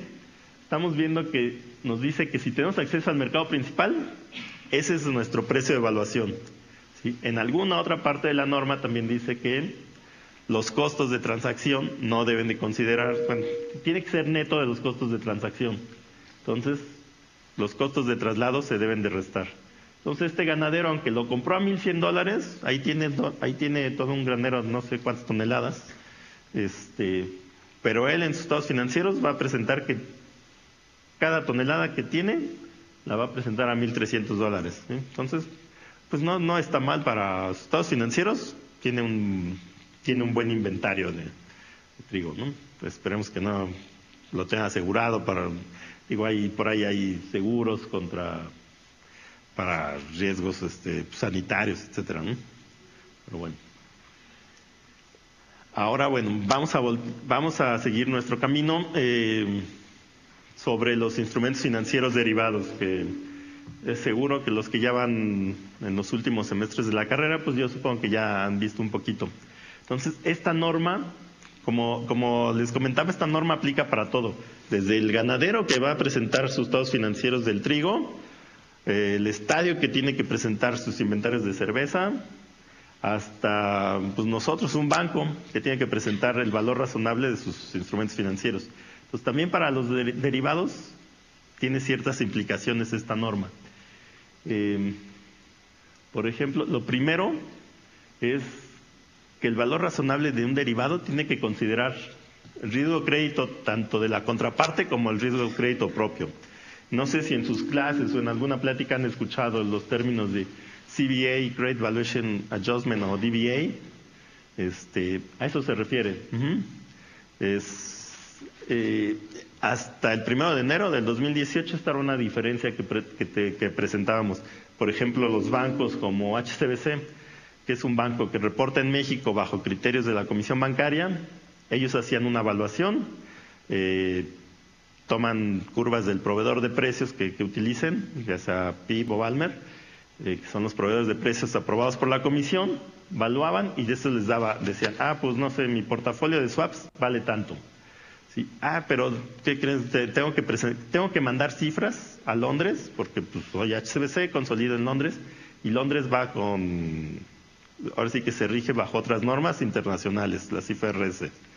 Entonces, en normas internacionales ya tenían que ajustar ellos por riesgo propio. Ujú.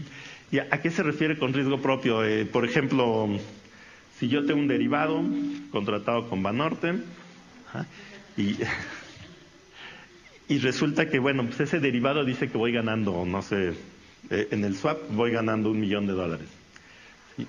Entonces tengo que ajustar ese precio por el riesgo crédito de, de Banorte, ¿sí? ¿Cuál, ¿Cuál es el riesgo de que Banorte, pues, de aquí a que vence el derivado, ahora sí que tenga problemas financieros y no me pueda pagar?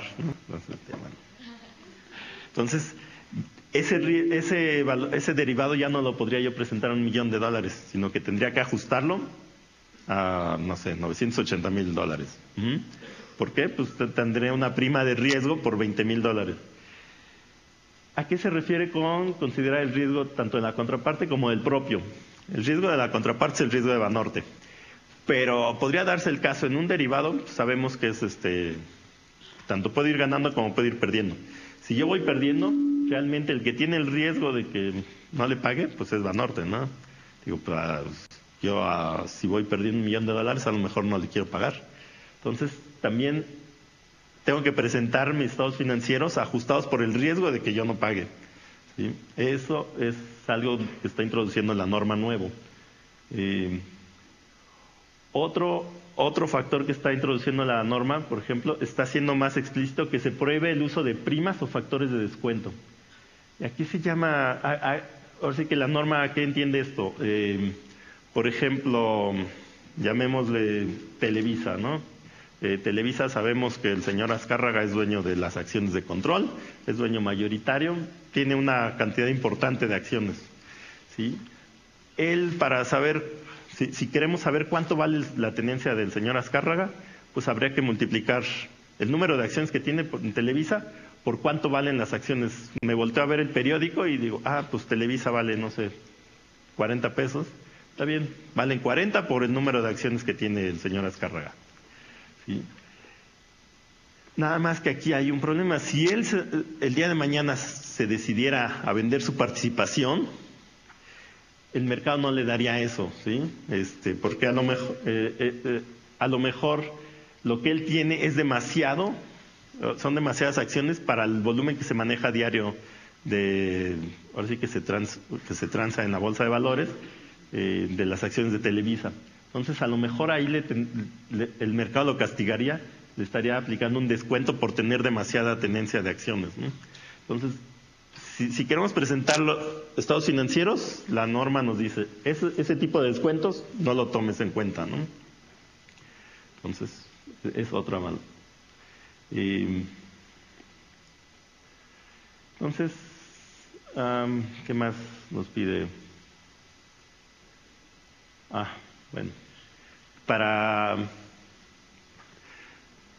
aquí, como ven ustedes, habla de, de niveles 2 y 3. Este es un concepto nuevo que está introduciendo la norma. Eh, también eh, en el B17 se dice, si yo voy a presentar a estados financieros, tengo que clasificarlos. Eh, estoy presentando estados financieros de- a valor razonable de algunos conceptos. Entonces, esos términos de valor razonable tengo que clasificarlos por nivel de jerarquía. Les está dando una jerarquía. Eh, y nos dice, bueno, si es jerarquía de nivel 1, pues es que es tan sencillo como el ejemplo que poníamos del señor Azcárraga. Sus acciones de Televisa, dice el periódico, vete al periódico y ahí te dice cuánto valen. Ah, eh, eso se llama nivel 1. Nivel 2 es donde, por ejemplo, la, evaluación de un swap. Eh, en ningún periódico voy a encontrar cuánto vale un swap, pero sí puedo encontrar en fuentes públicas de información eh, cómo se construye la, la curva de la TIE, cómo está construida la curva del LIBOR, y pues con eso y, los conceptos que ya tenemos del- de, nuestras clases de evaluación, pues obtenemos un valor de, de, ahora sí que de cuánto vale el swap, y pues eso se llama un nivel 2. Ajá, ¿Por qué? Porque estoy obteniendo insumos del mercado, los aplico un modelo y me da. Evaluaciones de nivel 3, bueno, ese es cuando tengo que aplicar este mucho juicio, mucha subjetividad. Eh, por ejemplo, en, el, en la estimación de, pérdidas de, de, un banco, cuando estima la, las reservas de cartera de crédito, eh, por ejemplo, ellos aplican mucho su, bueno, sí que insumos propios, ¿no? De cuál es mi experiencia, de, cómo, de cuánto me dejan de pagar, este, esos datos pueden ser muy diferentes los que tenga Bancomer que los que tenga, no sé, Banco Inbursa o un banco más chiquito, Banco Investa, este, entonces, cada, quien utiliza datos que no son que no son este, observables, ese es su nivel 3. ¿no? Entonces, cuando tenemos este, evaluaciones de nivel 2 o 3 en derivados, sí, sí podemos, ahora sí que aplicar primas de control, ¿no? Eh, por, pero si no, este no. Y, eh, por ejemplo, también se pueden aplicar ajustes de liquidez. Uh -huh. Primas de control, ¿a qué se refiere? Por ejemplo, supongamos que, eh, eh, por, por, ejemplo, Pemex hasta hace algunos años tenía alguna participación en una empresa española que se llama Repsol, pero la tenía por medio de algún derivado. Uh -huh. tenía opciones de, de comprar eh, un porcentaje de, acciones de Repsol, pero su, supongamos que Pemex hubiera tenido, digo, y que no es el caso, pero que hubiera tenido opción de comprar hasta el 55 o 51% de la empresa esta. Ajá. Entonces, si yo, por ejemplo, yo también fuera un inversionista y tuviera opción, igual que Pemex, tendría la opción de comprar acciones de esa misma compañía de Repsol, pero obviamente, no sé, por mil acciones no me alcanzaría para más, ¿no? Entonces, ¿cómo evaluaríamos esa opción? Pues seguramente lo primero que se nos vendría a la mente es, pues deben de valer lo mismo, nada más por que Pemex vale mucho más que, este, ma, tiene un monto mucho mayor que el tuyo, pero pero si lo multiplicas por esa relación te debería de dar el precio de la opción de Pemex, ¿no? Pues no, porque Pemex, por ejemplo, ten, en este ejemplo tendría la opción de comprar el 51% de la empresa, ¿sí? Pemex estaría comprando, eh, estaría teniendo control sobre esta, sobre la compañía, entonces el mercado pues, le aplicaría, le tendría que aplicar a ellos un sobreprecio, ¿por qué? Pues porque es una prima de control, ¿sí? cosa que a mí, a mí no me lo aplicarían, porque pues yo sería, pasaría a ser un, si ejerciera mi opción, pues sería nada más un inversionista minoritario. ¿no? Entonces, es, esos tipos de ajustes sí se permiten para cuando tenemos derivados que estén clasificados como niveles 2 o 3 de, la jerarquía. Hay algunas otras consideraciones que vienen en la norma, este, que nos dice, oye, ¿qué tasas hay que utilizar para el descuento? Este, lo que poníamos en el ejemplo de los costos de, de, de traer el trigo desde Chicago, que no se pueden, por sí que no se consideran los costos de transacción, este, el valor de liquidación, por ejemplo, no se puede utilizar como un proxy o un aproximado. Eh, Aquí, por ejemplo, no hay excepciones por practicidad eh, con otros instrumentos financieros. Por, por ejemplo, las, las, compañías, cuando en, en, sus estados financieros, uno de sus activos muy importantes de muchas compañías, por no decir que de la mayoría, es cuando hacen ventas a, crédito, a, ¿no? Oye, yo te vendo, así que te vendo mi cerveza, eh, yo Heineken le vendo cerveza al Estadio Azteca y le doy, no sé, 60 días para pagar viene el corte y yo tengo ahí, este, no sé, tengo mis facturas y digo que el Estadio Azteca me debe, no sé, 3 millones de pesos por las cervezas, ¿no? ¿Cuánto es el valor razonable? Si fuera, digo, ahora sí que pensando como actuarios, pues yo lo primero que haría sería traerme esos 3 millones de pesos a valor presente 60 días y, eso sería lo que valdría mis cuentas por cobrar. Eh, hay algunas excepciones, como vemos aquí, que dice, oye, algunos instrumentos financieros, como son justamente cuentas por cobrar, la norma nos dice, si son a corto plazo y la tasa de interés del país o del entorno este, no, no, es muy alta, pues presenta lo que sea, haz la suma y eso supone como que ese es el valor razonable. En el caso de los derivados, no se permite, ¿no? No me importa que el derivado venza dentro de una semana, que es un corto plazo. Tienes que evaluarlo. y, bueno, pues, eh, finalmente el valor razonable de los derivados se tiene que presentar en todas las circunstancias. Entonces, hasta aquí ya vimos, este es como el, el marco conceptual de, de la nueva norma, de cómo sacar el valor razonable. Ya que tenemos, ya definimos cuál es el mercado, eh, cuál es la unidad de evaluación que vamos a tener, que vamos a utilizar, este, cuál es el, ahora sí que el mercado activo o el mercado principal al que vamos a, del cual vamos a obtener los insumos. Ahora sí nos volteamos y vemos cuáles son las técnicas de evaluación.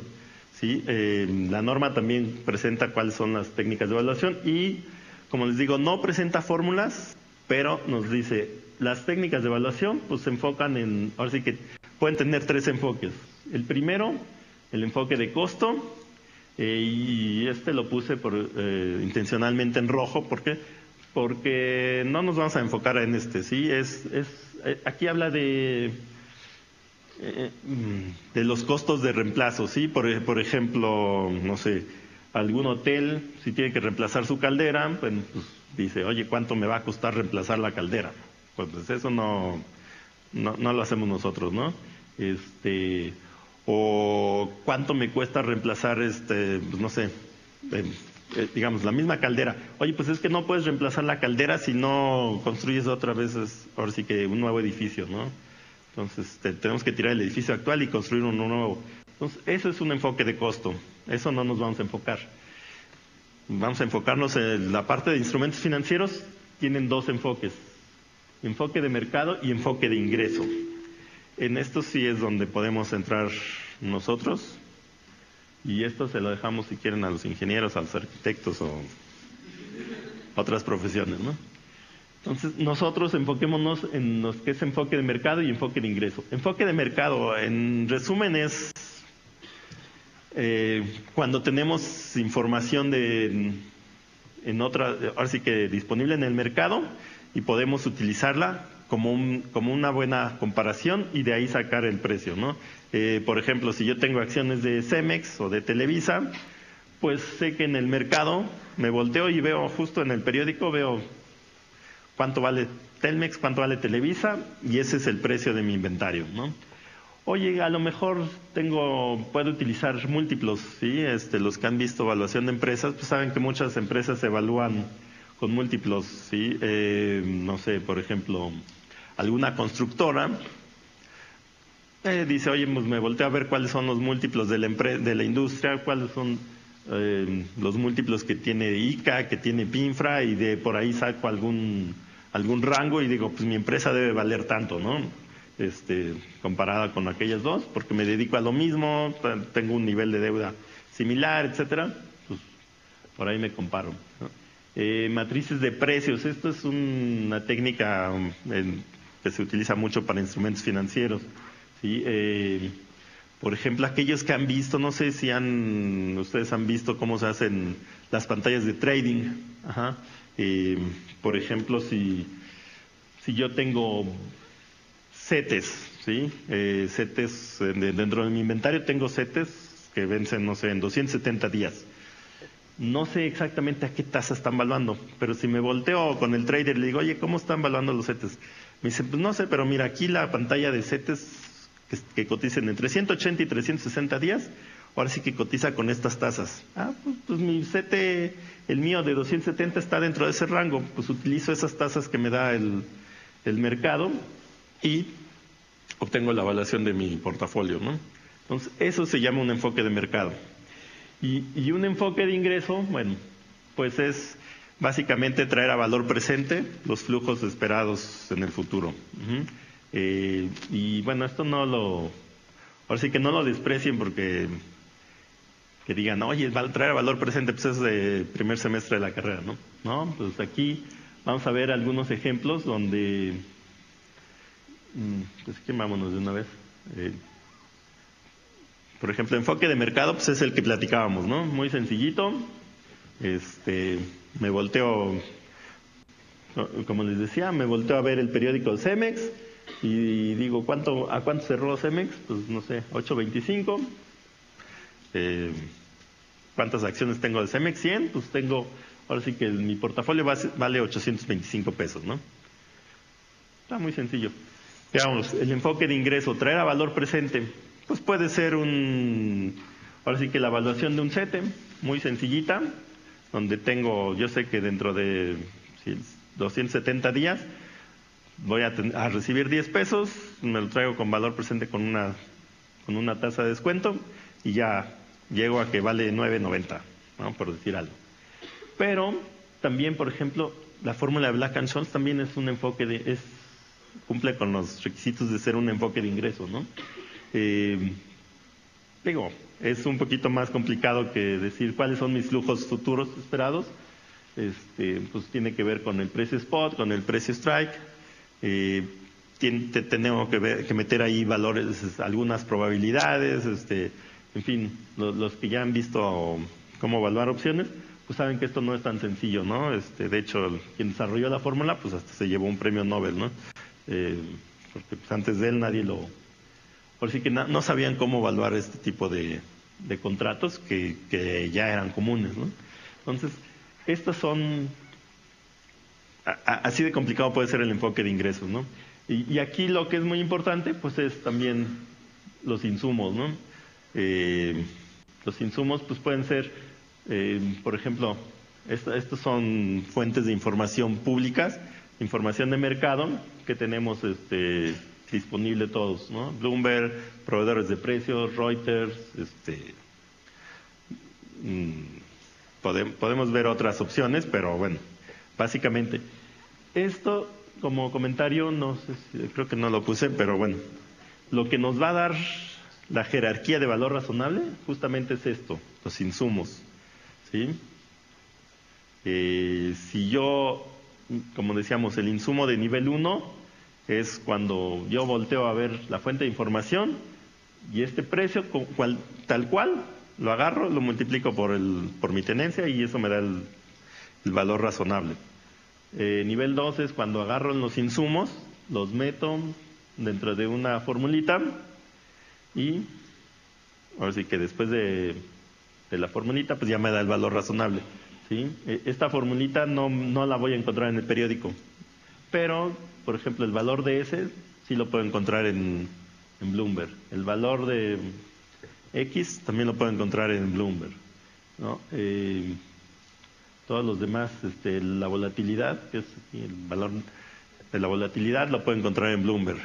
Entonces, ahora sí que con estos insumos los meto en la fórmula y me va a dar el valor razonable. Entonces, hasta aquí ya vimos, sin, como vemos, nos podemos complicar cuanto quieran, ¿no? Entonces, este, este curso podríamos ya enfocarnos en técnicas de evaluación, pero bueno, digamos que hasta aquí ya vimos qué es el valor razonable, cómo se calcula y vamos a ver para qué se utiliza o cuándo se utiliza. Entonces, como decíamos, lo primero es que para hacerlo comparable, la norma, la nueva norma nos dice, este, no solo, no solo me presentes el valor razonable, sino dime de qué, en qué nivel de Ahora sí a qué nivel de jerarquía pertenece, ¿sí? Y aquí hay algunos ejemplos de, instrumentos que pueden calificar en nivel 1, 2 o 3. Lo que sí es muy importante es, por ejemplo, en esta formulita, a lo mejor yo podría tener el precio del, eh, ahora sí que S y X, obtenerlos de Bloomberg. Pero la volatilidad, a lo mejor no la quiero obtener de Bloomberg, sino que la quiero obtener, este, ahora sí que un dato que yo voy a estimar con mis modelos, puedo, desarrollar algún modelo propio. Y entonces, eh, volatilidad en el caso de Black and Scholes es un insumo muy importante, pero sería en ese caso no sería observado. Entonces, ahí sí, si es un insumo relevante, este, y es el del nivel más bajo, ese es el que me da el nivel de, ahora sí que de, de todo, ¿no? No me importa que yo tenga varios insumos de nivel 1 o 2, pero si tengo un insumo como la volatilidad, donde no es observable, sino que yo lo calculé por, así que con mis propias herramientas, pues en ese caso esa opción yo la calificaría como de nivel 3. Y pues ya para terminar, bueno, veamos, este es un estado financiero, aquellos que llevaron contabilidad, pues este, sabrán que del lado derecho van los activos, del lado izquierdo van los pasivos y el capital, ¿no? Este, aquí, a diferencia de como lo han visto seguramente en sus clases, este, el capital está presentado arriba porque, bueno, así se presenta en las normas internacionales. En las normas mexicanas, este, capital va abajo, igual que, igual que en las clases, ¿no? Pero aquí lo importante es los conceptos que yo les subrayé en, ahora sí que con, rayitas rojas, son conceptos de los estados financieros donde ya se presentan o se pueden presentar a valor razonable, ¿sí? Entonces, y todos estos, por ejemplo, beneficios de empleados. Eh, la evaluación de los planes de beneficios de empleados la hacen actuarios, no la hacen contadores. Entonces, si vemos un estado financiero de hace, no sé, hace no, mucho tiempo, 10 años, la mitad de estos conceptos no, no estarían subrayados. Entonces, todas las crisis, este, eh, cómo, ha evolucionado la globalización, por así que todos esos efectos de, han, hecho que estos estados financieros cada vez se vayan más hacia un enfoque de mercado. Cada vez demandan más de especialistas. Aquí, a lo mejor muchos de estos, este, por ejemplo, evaluación de, no sé, de activos de larga duración, pues a lo mejor no lo hacemos nosotros, ¿no? Pero tampoco lo hacen los contadores, lo hacen los arquitectos, los ingenieros, ¿sí? Este, entonces, realmente la información financiera cada vez está haciendo más especializada y pues es un campo de, bueno, así que laboral muy interesante para los actuarios, ¿no? Aquí vean todos los, los conceptos están instrumentos financieros, están beneficios de empleados, este, pueden ser inventarios, provisiones, por ahí, ¿sí? A, lo mejor muchos de estos conceptos no son obligatorios de presentarlos a valor razonable, pero existe la, la opción, ¿sí? Eh, entonces, pues, chicos, eh, ahora sí que tienen todo un mundo por laboral este, enfrente de ustedes, muy amplio, ¿no? Si se quieren dedicar a, a pensiones, pues finalmente el numerito que ustedes calculen se va a ver aquí en beneficios de empleados. Si se quieren dedicar, no sé, riesgo de crédito, pues donde esté la carta de crédito va a venir este, impactada por reservas este, que calculan los actuarios. Este, la parte de instrumentos financieros, que es a lo que yo me dedico, también al final de cuentas el numerito va a dar a la contabilidad.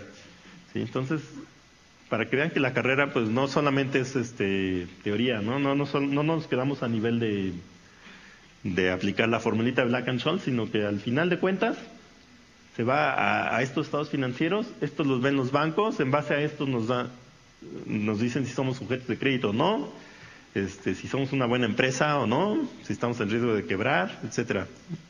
Entonces, pues ahí terminamos. ¿Alguna pregunta?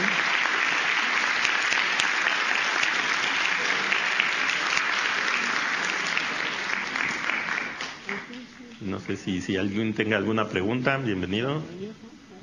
no, muchas gracias. Siempre ha sido un placer volver a esta, la Facultad de Ciencias.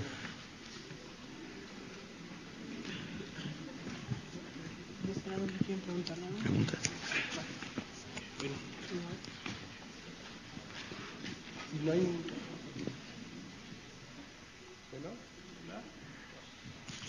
Bueno.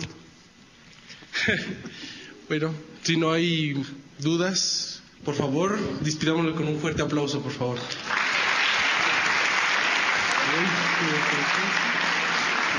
Muchas gracias por haber asistido. Por favor, van la foto que salió.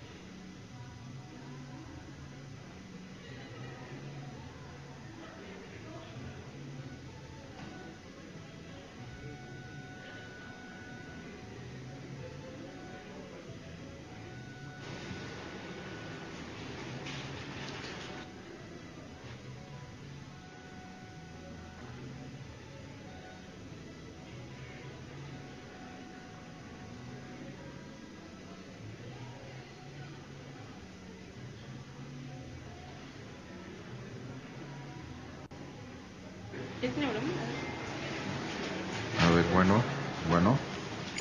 Bueno, bueno, bueno. Bueno, bueno, bueno. Bueno, sí, bueno, sí. Uno, dos, tres. Sí, más arriba. Este lo. Pues, Bueno, bueno. ¿Sí? Ese no lo levanto más. Bueno. Ok. Entonces,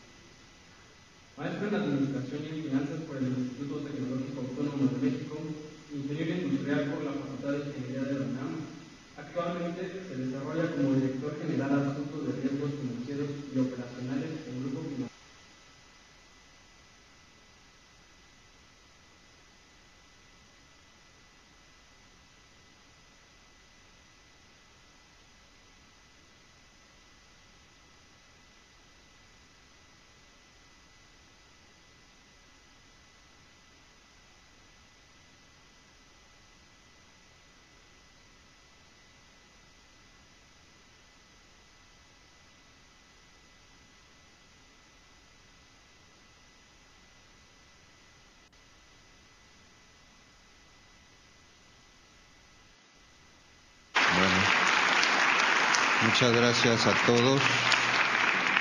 Gracias por la invitación a este Congreso de Actuaría. Para mí es un honor venir. Ahorita me decían que muchas gracias porque estoy muy ocupado, pero no es cierto.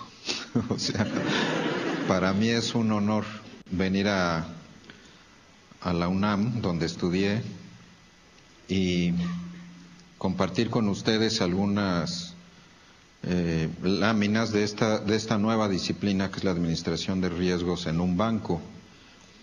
El objetivo de la plática es despertar la apetencia del saber, porque yo en una plática de una hora no puedo más que dar un punto de vista, no puedo enseñar todos los conceptos, las métricas de la administración de riesgos pero sí puedo plantear un panorama para ver si para ustedes es interesante eh, dedicarse como una alternativa en su destino la administración de riesgos en un banco, no los riesgos de aseguradoras que son diferentes.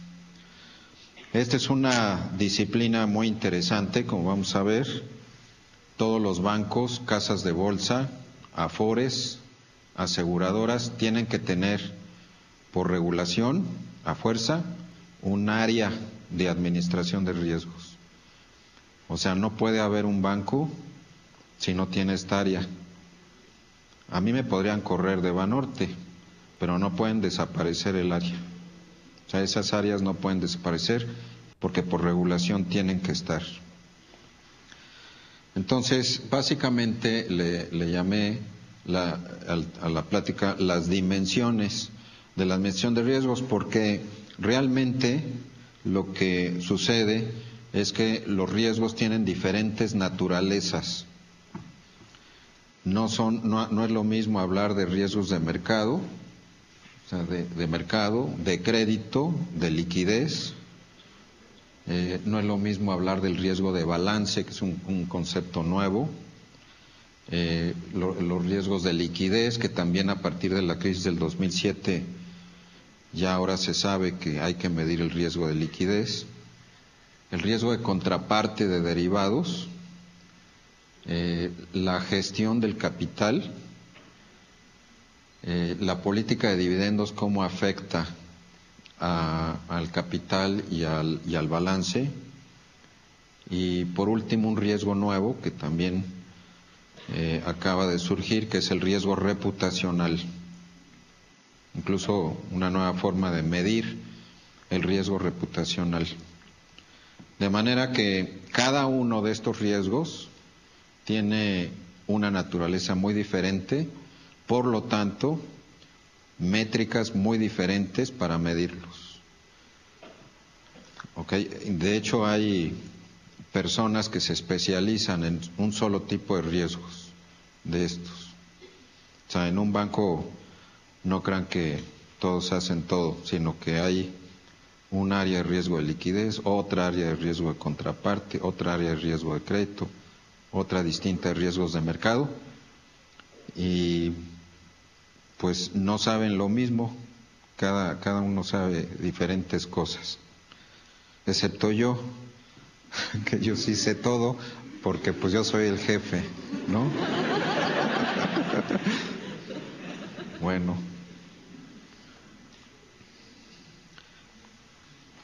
Yo, eh, para poner en contexto, diría, el director general de una empresa, no solo de un banco, sino de cualquier empresa, tiene que tener tres objetivos.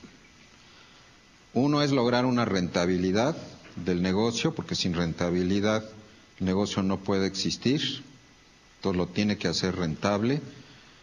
La rentabilidad la medimos como el, cociente de la utilidad neta entre el capital contable.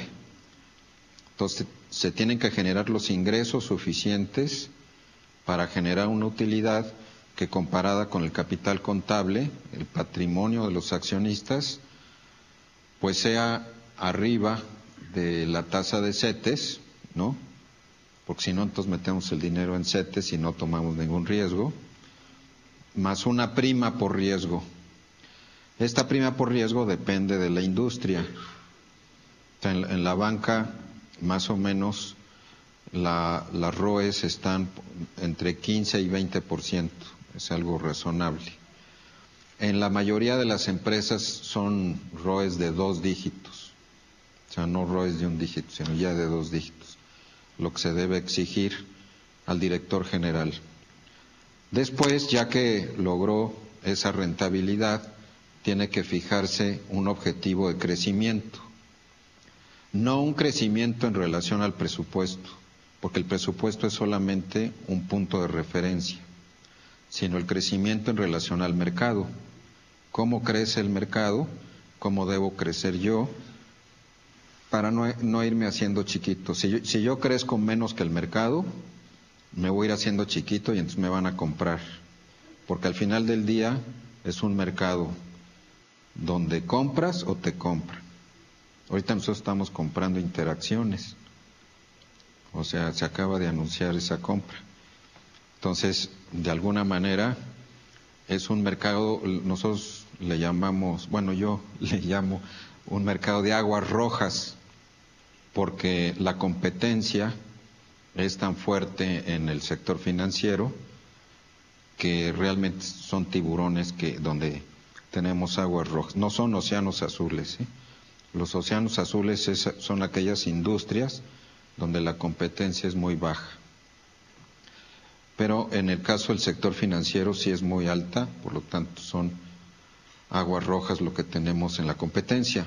Una vez que se logró la rentabilidad y el crecimiento, muy importante lograr la permanencia.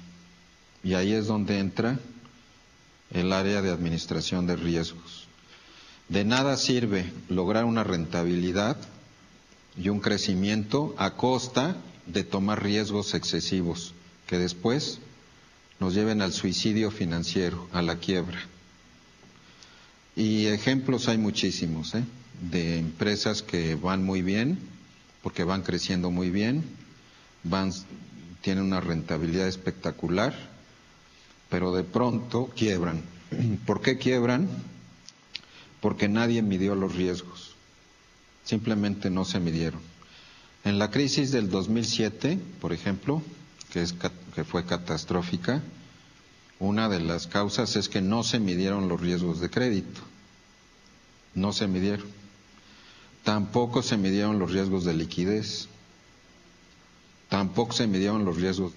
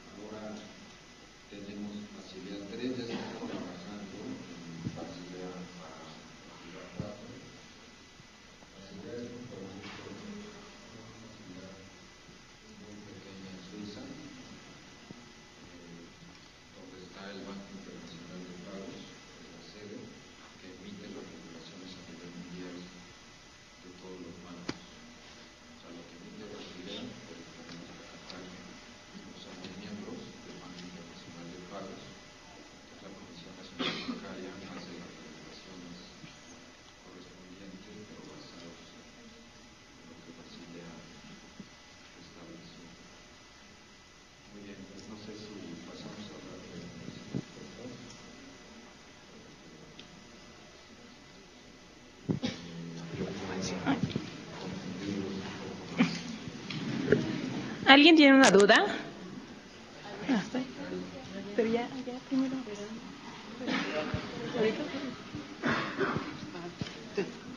ah, Hola, buenos días.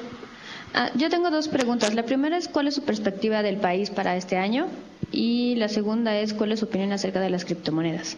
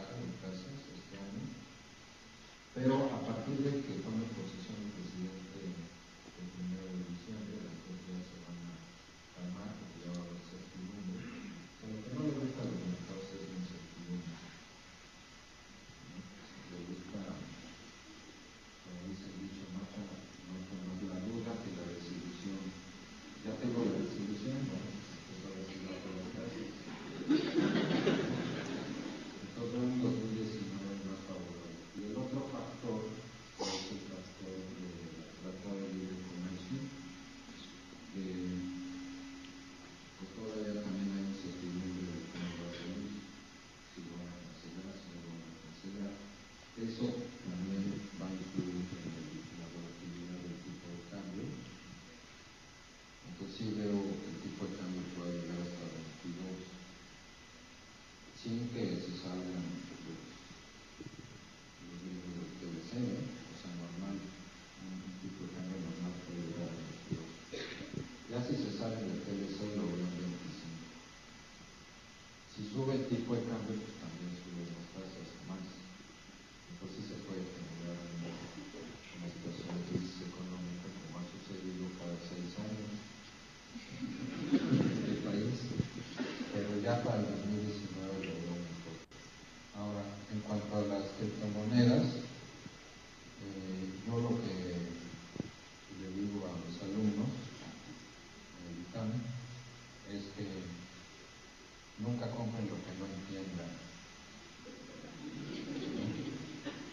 yo a las criptomonedas no les entiendo.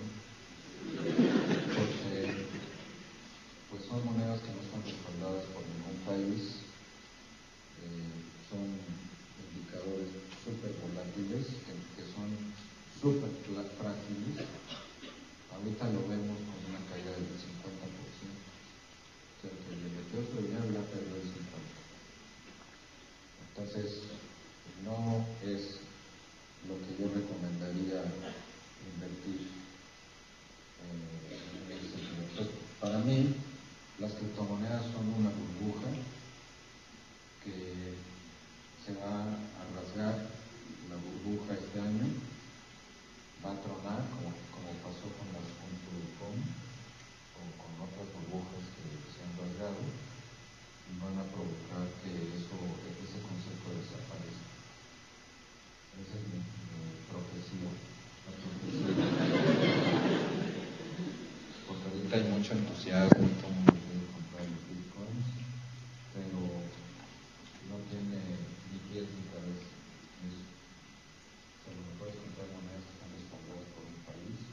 Prefiero comprar dólares en todo caso.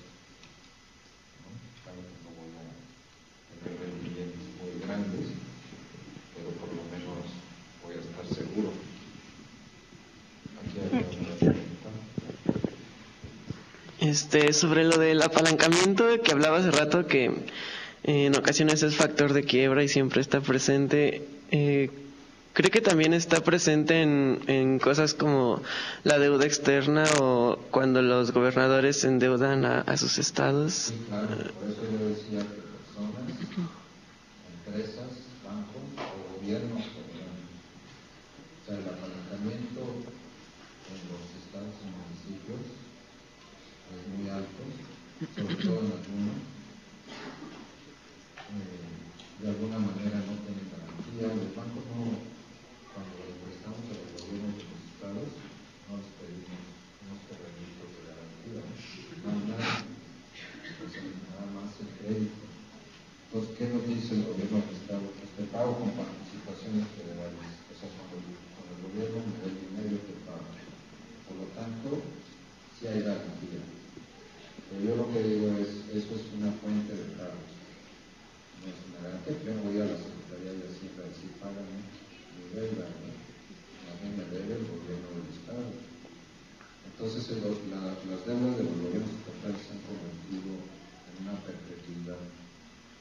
Y Cuando ya no pagar, piden una reestructuración y así nos, nos la llevamos hasta que un día eh, destruyen ya todo, ¿no? O sea, porque sí, todo tiene su, su límite.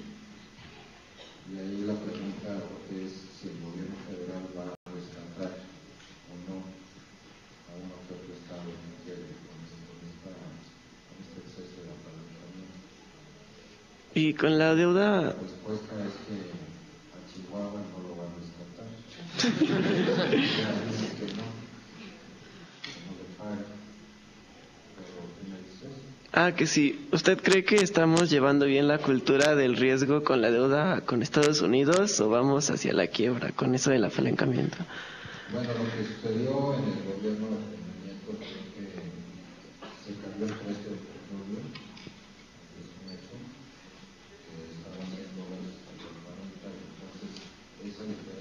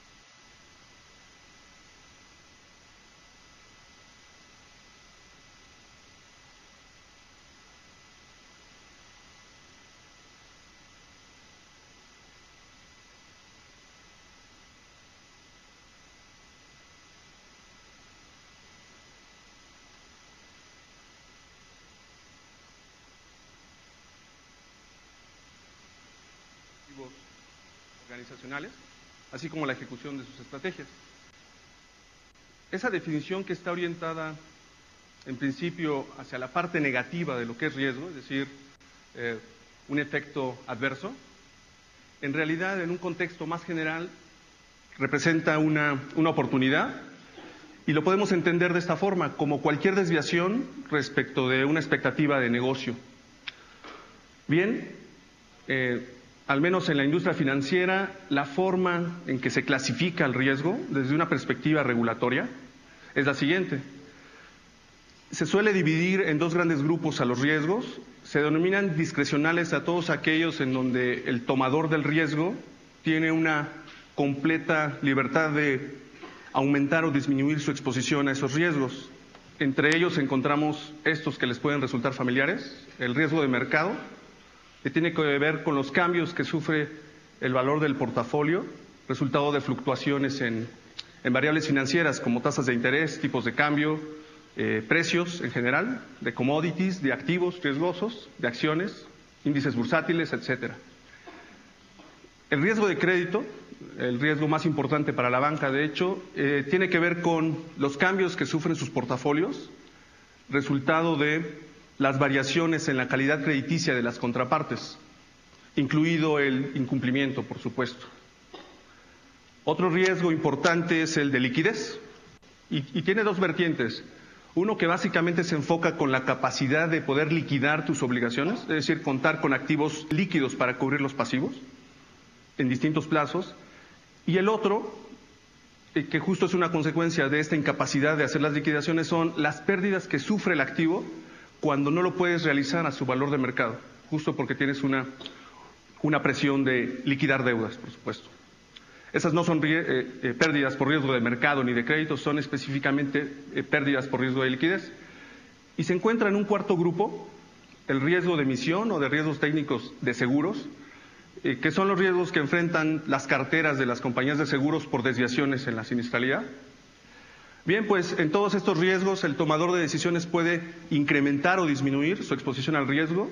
Sin embargo, hay otros que son algo, así como el ADN de la, institución, los no discrecionales, y, y por excelencia pues encontramos al riesgo operacional.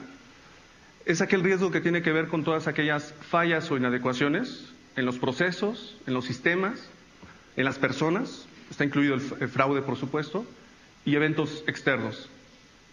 Eh, las instituciones financieras, eh, por regulación, deben mantener un capital suficiente para cubrir estos riesgos. Esto depende del sector de aquella organización. Sin embargo, pues hay que ser conscientes de que existen otros riesgos. El riesgo reputacional. Hemos escuchado de muchas empresas, financieras o no, que por un problema en su imagen han quebrado. Eh, el riesgo estratégico, que tiene que ver con todas aquellas afectaciones que sufre una empresa por la mala ejecución de las estrategias que ha planteado el Consejo de Administración. Y existe otro riesgo que se conoce como riesgo moral. En este incurren los bancos en general, cuando llaman al sistema para que los rescate. Y también lo incurre un asegurado cuando se expone y lo que busca es ejercer la cobertura. Bien, en este contexto hay que eh, tener muy, presente la diferencia entre gestión de riesgos o entre medición y administración de riesgos. Eh, por medición de riesgos nos referimos a la parte cuantitativa de todo este análisis eh, que tiene que ver con la caracterización de la distribución del cambio en el valor de, de una posición o de un activo, por cualquiera de los riesgos que mencioné anteriormente. Así que está enfocada en el análisis de la variable aleatoria de las pérdidas de ese portafolio la vamos a denominar L. Y bien, si queremos describir el comportamiento de L, pues es necesario incorporar el efecto de todas aquellas variables que afecten a, L, es decir, los factores de riesgo subyacentes asociados a la, posición. Eh, para ello, por supuesto, pues en la práctica se hace uso de diversas herramientas cuantitativas, las cuales provienen de las finanzas, de la probabilidad, la estadística, la computación, entre otras. Y bien, cuando nos referimos al concepto de administración de riesgos, en realidad eh, hacemos referencia a todas aquellas mejores prácticas que permitan gestionar y mantener un negocio en marcha, a sabiendas de que pues hay amenazas que eh, pueden distorsionar su viabilidad. Bien, eso requiere que el gestor de riesgos diseñe estrategias para identificar, evaluar, monitorear y mitigar los riesgos que enfrenta la compañía. Eh, esta, esta, tarea importante en las organizaciones requiere, por supuesto, de haberlos medido bien, es imprescindible, pero además de eso, pues es necesario conocer eh, cómo funciona el negocio, sus procesos, es decir, requiere de experiencia, de tener la capacidad de identificar todas las fuentes de ingresos y egresos en la, compañía, su estructura de capital, eh, eh, cómo es que se está fondeando y pues la manera en que administra sus activos y sus pasivos, una administración global. ¿sí? Bien, pues en esencia una buena gestión de riesgos debiera articular procesos de toma de decisiones estratégicas de negocio, por supuesto, que en este proceso de decisión incorpore métricas o indicadores o evaluaciones del riesgo que se enfrenta cuando se toma alguna decisión específica. No es un tema fácil porque requiere que tu organización eh, tenga una cultura de riesgo y por cultura de riesgo me refiero a todas las costumbres y mejores prácticas que eh, cada miembro de la organización utiliza para identificar, evaluar y controlar sus riesgos. Esto depende mucho también del compromiso de, la alta dirección y del Consejo de Administración. Me refiero al gobierno corporativo. Bien, pues eh, una buena gestión de riesgos permite hacer uso eficiente de los recursos, optimizar el capital y que esta optimización o este uso de este recurso escaso y caro, que es el capital, esté alineado y dentro de los eh, parámetros de apetito de riesgo que establece los accionistas y las partes interesadas, por supuesto. Bien, pues eh, la manera de enfocar esta gestión de riesgos tiene dos principales formas. Una de ellas tiene que ver con incorporar en una sola métrica el riesgo global, es decir, busca mitigar el riesgo no sistémico, hacer una diversificación de tus portafolios y líneas de negocio y la otra, bueno, aquí el pie de página lo salto, son ejemplos de en donde encontramos, por ejemplo, un esquema de agregación de riesgos, eh, típicamente cuando en una, eh, en una tesorería el, middle office eh, busca establecer límites de riesgo para que la, la, toma de posiciones, compra y venta de instrumentos, no vulnere el límite máximo de riesgo permitido. El riesgo de crédito pues es gestionado bajo este enfoque también. La otra forma de gestionar el riesgo es hacer un, tratamiento individual, un tratamiento por separado de las distintas fuentes de incertidumbre. Eh, el ejemplo típico es el riesgo operacional, por supuesto. Y eh, otro, un problema asociado a, estos enfoques, cualquiera de los dos de hecho son utilizados en, combinación. Eh, un problema típico es el de agregar los riesgos, es decir, si tengo D líneas de negocio y cada una de estas Ls representa la variable de pérdida asociada a esa línea de negocio, la pregunta básica es, eh, ¿cuál es el comportamiento de la suma, es decir, del riesgo total? Em, ubicar alguna métrica que te permita cuantificar la exposición al riesgo y hay básicamente dos alternativas. Una que lo que busca es ir de abajo hacia arriba, es decir, hacer un mapeo, una lista de todos los factores que afectan el comportamiento de cada LI. Es decir, este es un problema, un problema eh, en el que la, la, dimensionalidad juega un papel importante, así que si en el modelo tienes un número grande de factores de riesgo, su modelación conjunta va a ser un problema complejo. Y hay otra en donde, lejos de buscar el comportamiento probabilista de las fuentes de riesgo, te preocupas por a nivel de línea de negocio, ¿cuál es la pérdida, eh, por ejemplo, histórica que has observado? Hacer un poquito más como de inferencia básica y eh, caracterizar de forma marginal y conjunta, por supuesto, el nivel agregado de cada una de estas variables. Es decir, no me importa las fuentes de riesgo que generan a cada una de estas fuentes, sino que simplemente eh, tengo que lidiar con D variables aleatorias.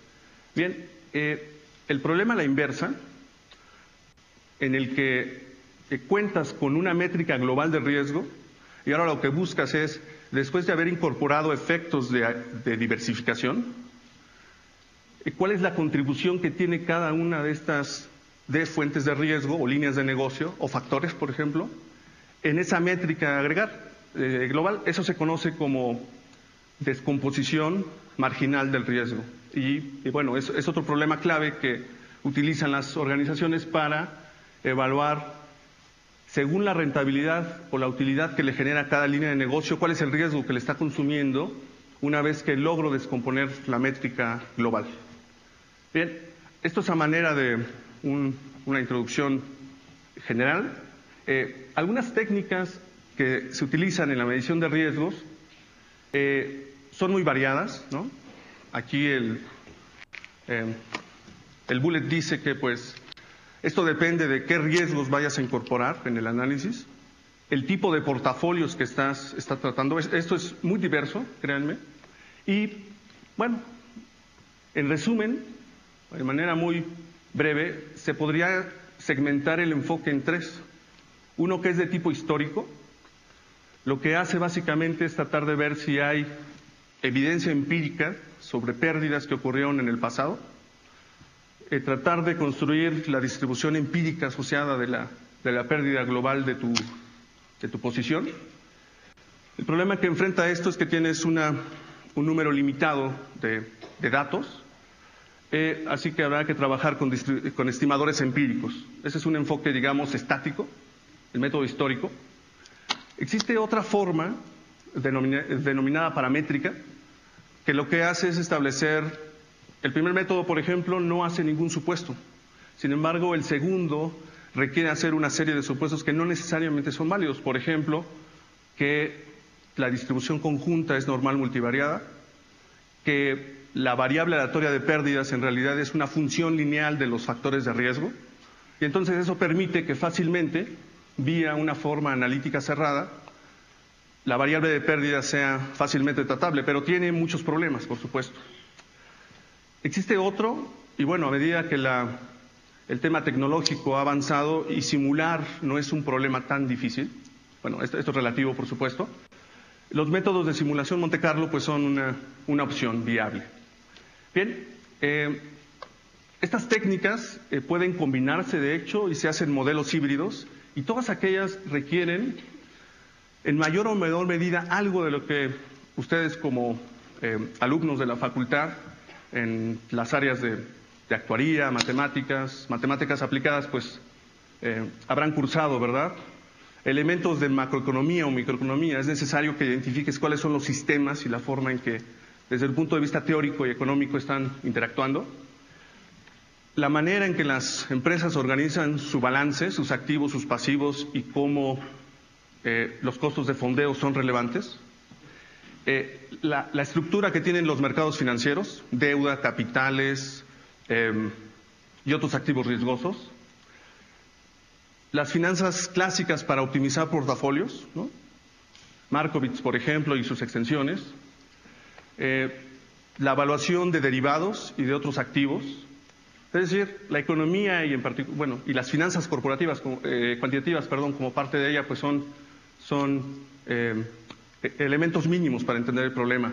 Luego requerimos, cuando hacemos, aumentamos la complejidad del problema, pues atender a, bases de probabilidad de procesos estocásticos, del cálculo estocástico en sí mismo, cuando evaluamos los activos a tiempo continuo.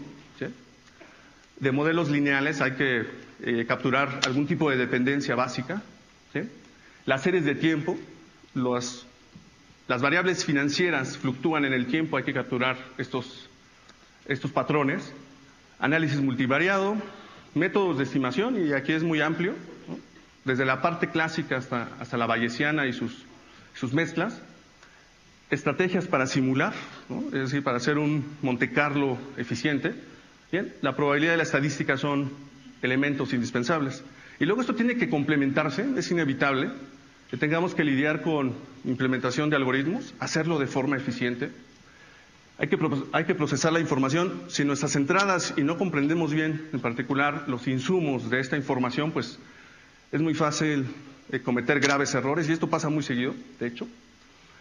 Y bueno, luego otras ramas de la computación como la inteligencia artificial, el aprendizaje maquinal, que te permite identificar patrones que no son fácilmente eh, identificables. Bueno, me refiero básicamente al cómputo científico. En realidad, lo que uno necesita para implementar en mayor o menor medida los modelos de riesgo es una mezcla de estas, de estas disciplinas. Bien, el primer caso que quisiera eh, platicar eh, es una cuestión típica, los modelos de calificación crediticia. Eh, bueno, mientras ustedes, ustedes revisan la, la definición, yo la...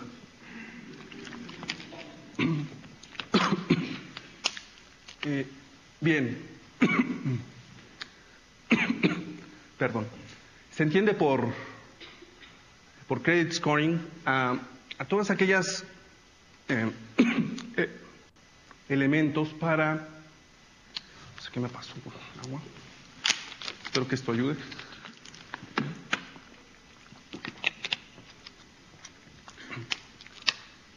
El problema básico es, el banco recibe solicitudes y tiene que discriminar entre clientes, a quién le otorga crédito y a quién no.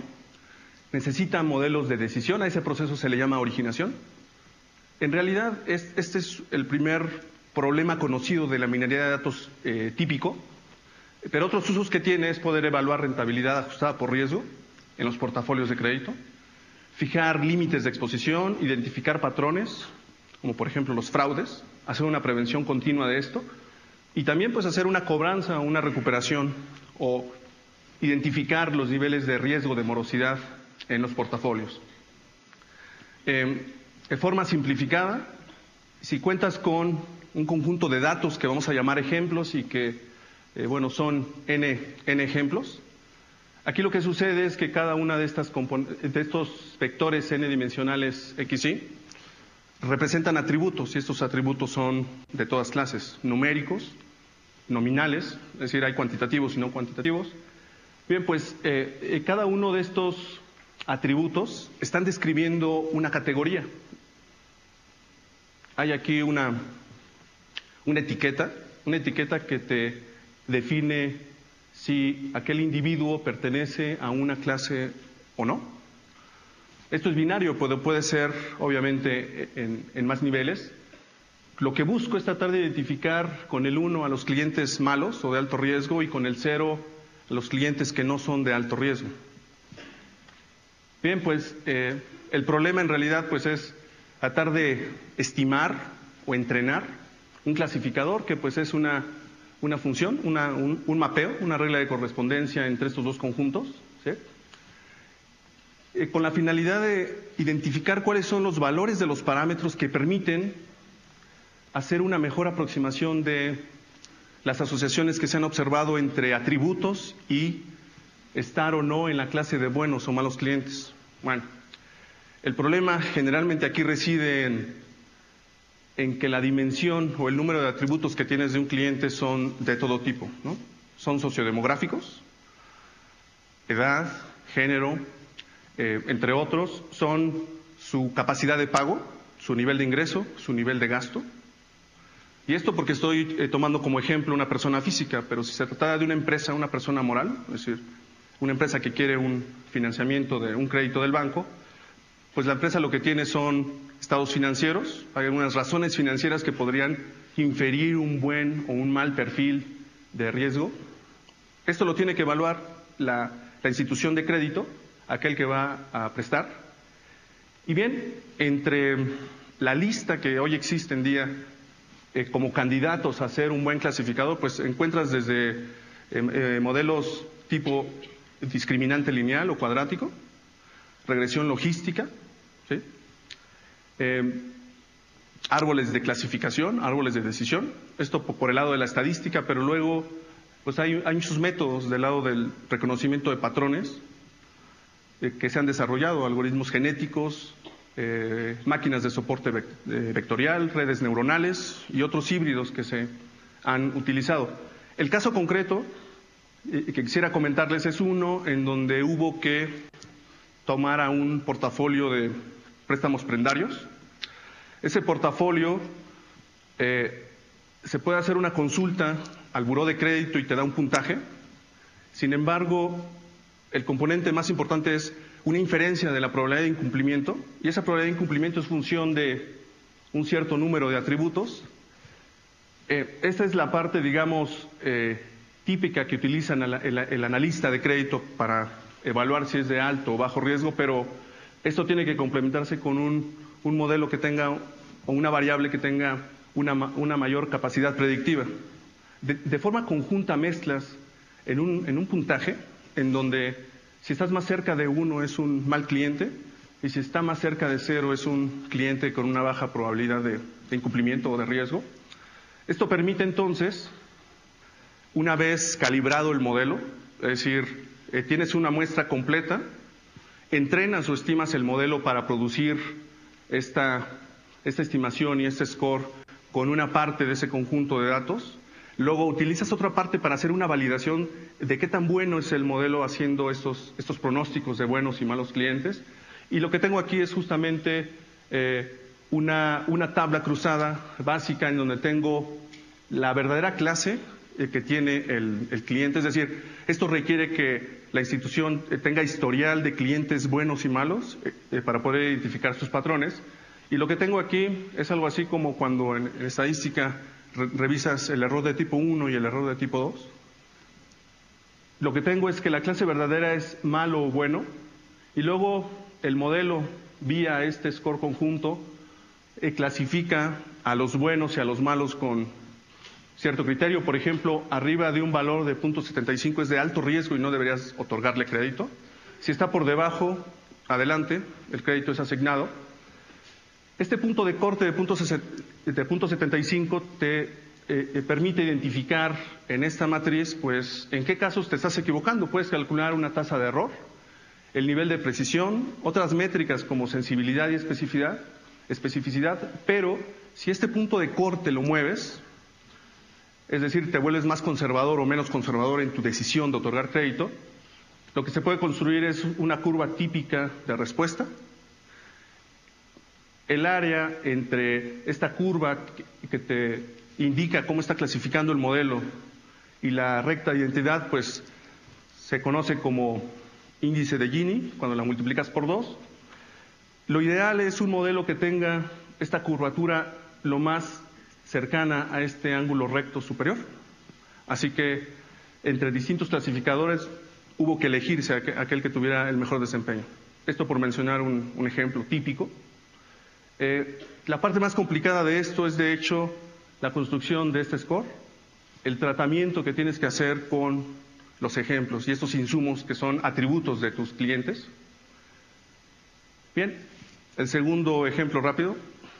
Eh, por cuestión de tiempo, así, así tenemos que hacerlo. Y bueno, hay muchos detalles que estoy omitiendo. Este era un problema en donde el objetivo era evaluar estrategias eh, que permitan cubrir la exposición de cierta organización a fluctuaciones del oro. El oro cotiza en dólares, onzas por dólar. Ese precio se mueve de acuerdo a los índices de mercados internacionales y luego hay que traducirlo de dólares a pesos, es decir, el tipo de cambio interfiere. En principio hay dos variables que habría que estudiar. En la implementación de este caso hubo que mezclar técnicas estadísticas, econométricas, usar vectores autorregresivos, modelos de, varianza condicional, hacer filtrado y luego eh, capturar la dependencia conjunta vía ciertos modelos, cópulas, simular a partir de estos modelos que filtran la información y luego evaluar métricas típicas de riesgo, como el valor en riesgo. Bien. Eh, a manera esquemática voy a indicar con gráficas el proceso que se siguió. Primero, el filtrado marginal y análisis conjunto. Esto es una cuestión intensiva en la que lo primero que tienes que hacer es buscar y qué factores financieros afectan al oro y al tipo de cambio. Habrá que meter desde índices de producción, índices de precios, inflación, eh, algunos indicadores globales como tasas de interés, a distintos plazos, eh, así como algunos commodities, como el petróleo, por ejemplo, lo que pasa a nivel de las bolsas el Standard Poor's, por ejemplo, y luego otro commodity, ¿no? el petróleo.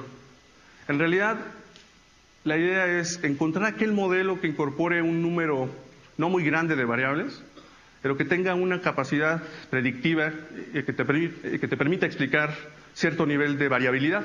Lo que aquí sucede en esta tabla es pues que después de ese estudio se identifica que a nivel de, a nivel de precios, el precio logarítmico del oro es explicado, ah, se hizo una descomposición del pronóstico de, de varianza en un modelo lineal y resulta que el noventa y tantos por ciento, esto es por haberlo puesto tan pequeño, el 93 por ciento de la variabilidad en el precio del oro es explicada por el oro del periodo anterior. Ese es un, modelo que se hizo en, cortes mensuales.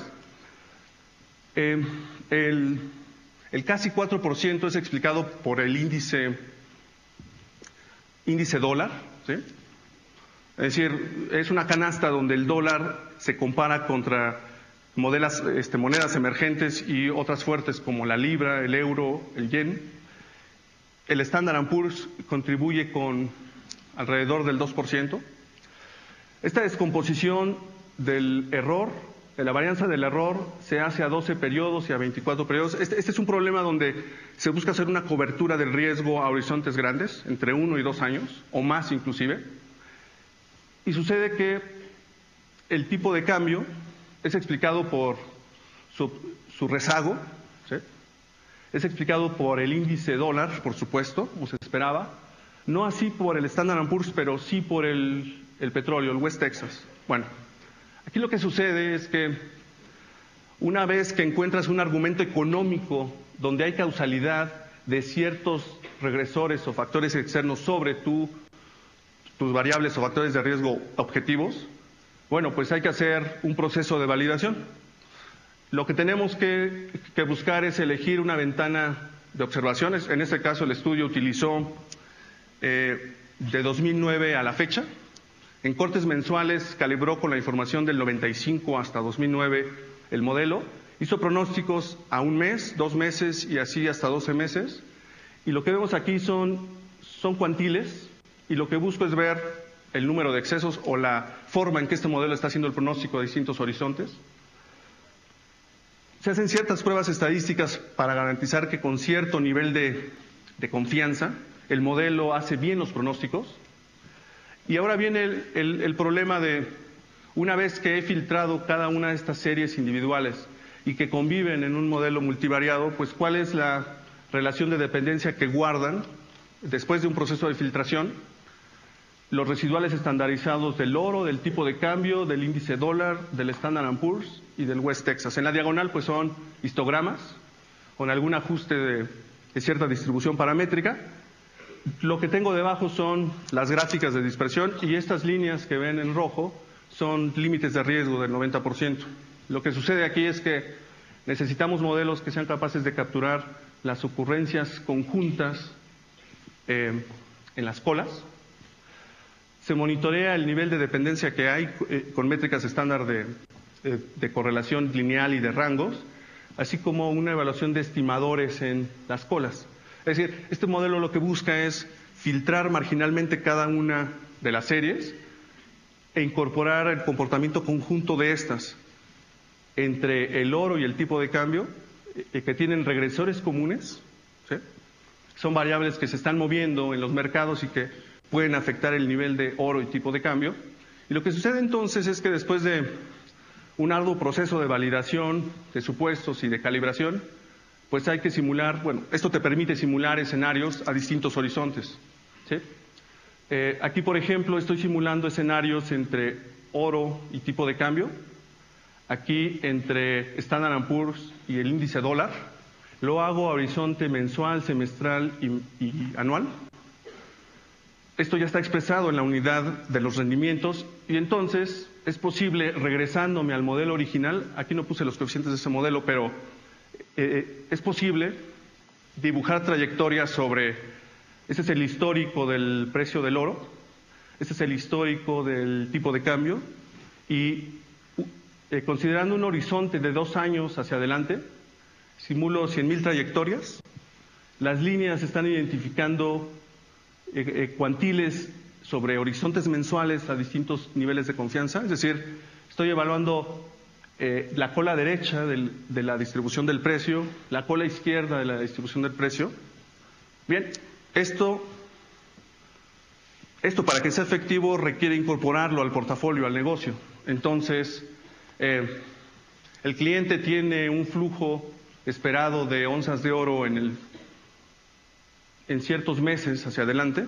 Estos son los flujos netos. Es decir, hay que tomar en cuenta las entradas y las salidas y todas las restricciones del negocio.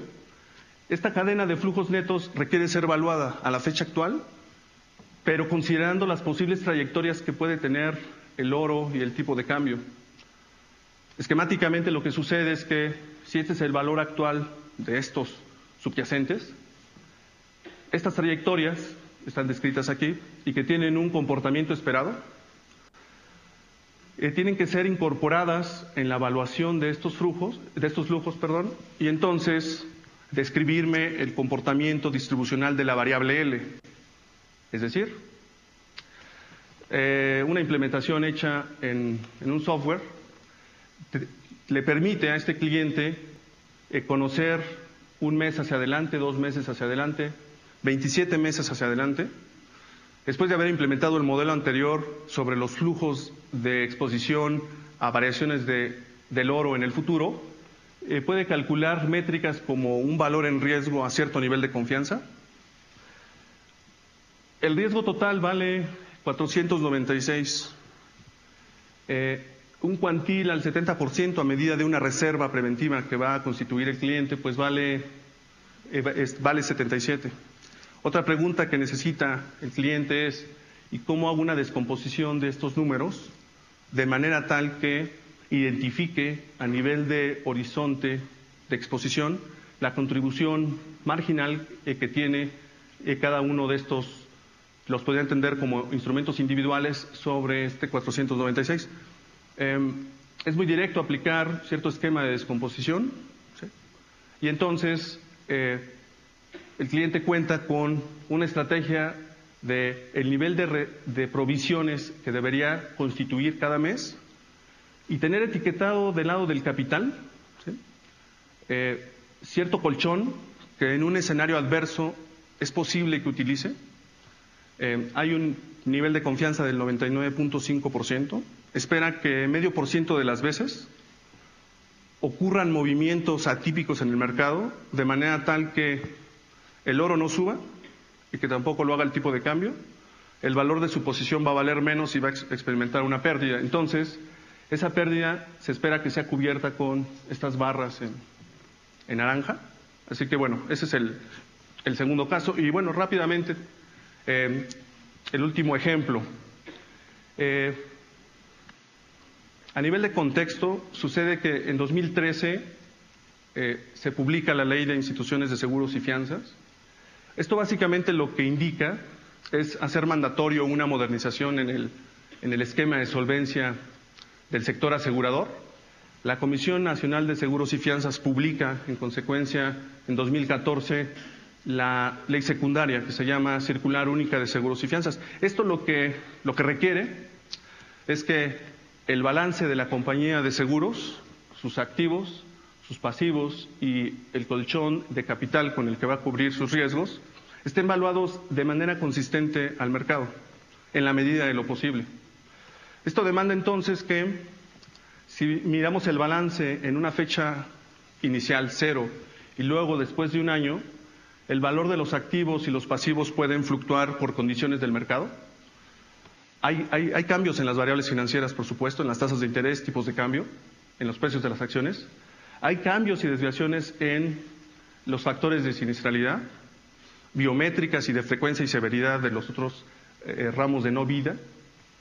Hay que revaluar el balance, las entradas y las salidas en esta, en esta nueva constitución después de un año e incorporar los escenarios extremos. Esto lleva, en, términos eh, eh, gráficos, a que existe una fórmula general que genera escenarios de la variable aleatoria de pérdidas del capital. ¿Cuánto puede, eh, eh, cambiar el valor del capital en un horizonte anual. Es necesario entonces, de acuerdo a la regulación, que las compañías calculen lo que se conoce como requerimiento de capital de solvencia. Es un alto cuantil al 99,5% sobre la variable de pérdida que mide los cambios del capital en un horizonte anual. Bien, pues eh, la regulación se ha modernizado y eso requiere que las compañías de seguros cuenten pues con eh, eh, primero con personal que esté capacitado, con profesionales del área de seguros que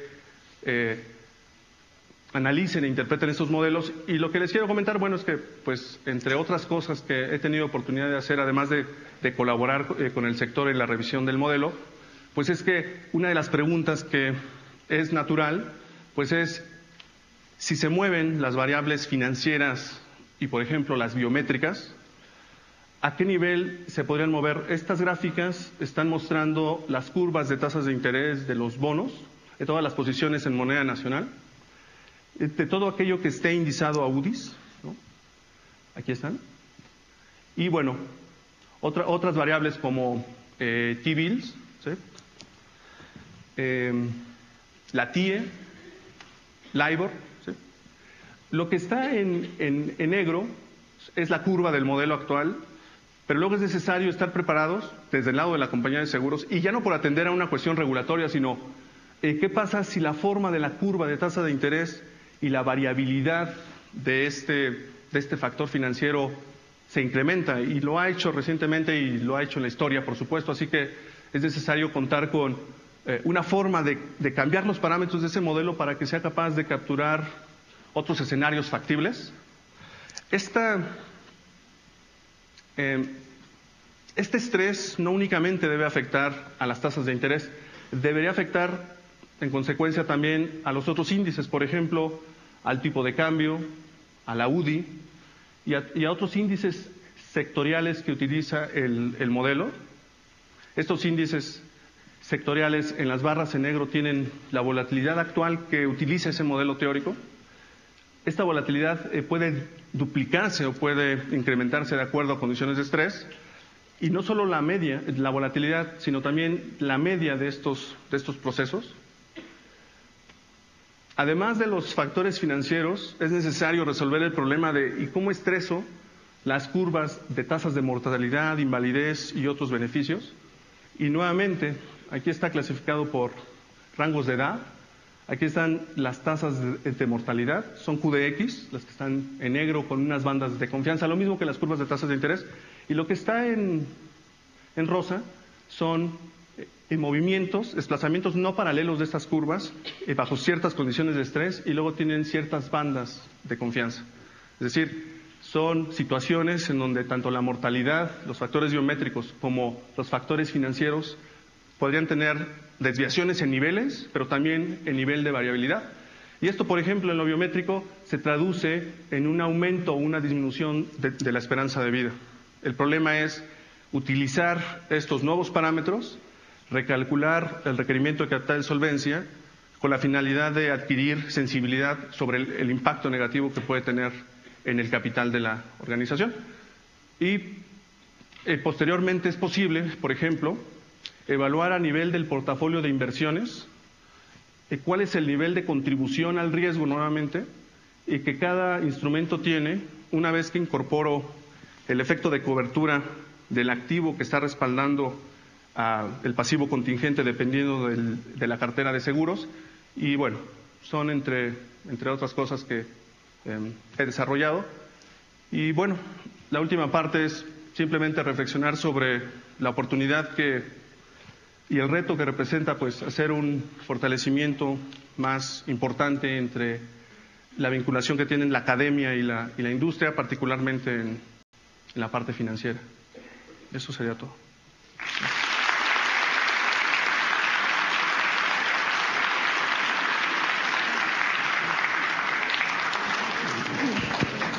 ¿Alguna duda? ¿No? Ah, okay.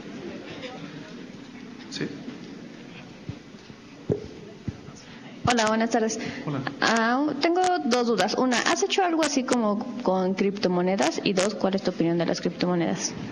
Ah, bueno, no he hecho nada con, con criptomonedas. Sí. Y pues mi opinión es que son activos riesgosos, en donde resultado de la especulación y de las expectativas, muchas veces infladas de, de los, que- de- de los que están transaccionando con ellas, genera un efecto de eso, de una burbuja. Y ha pasado históricamente que activos cuyo precio es exces- excesivamente inflado, en algún momento revienta. Es decir, eso es algo que está previsto ya, que en algún punto muchos van a ganar, pero otros van a perder demasiado. Es mi opinión, muy riesgoso.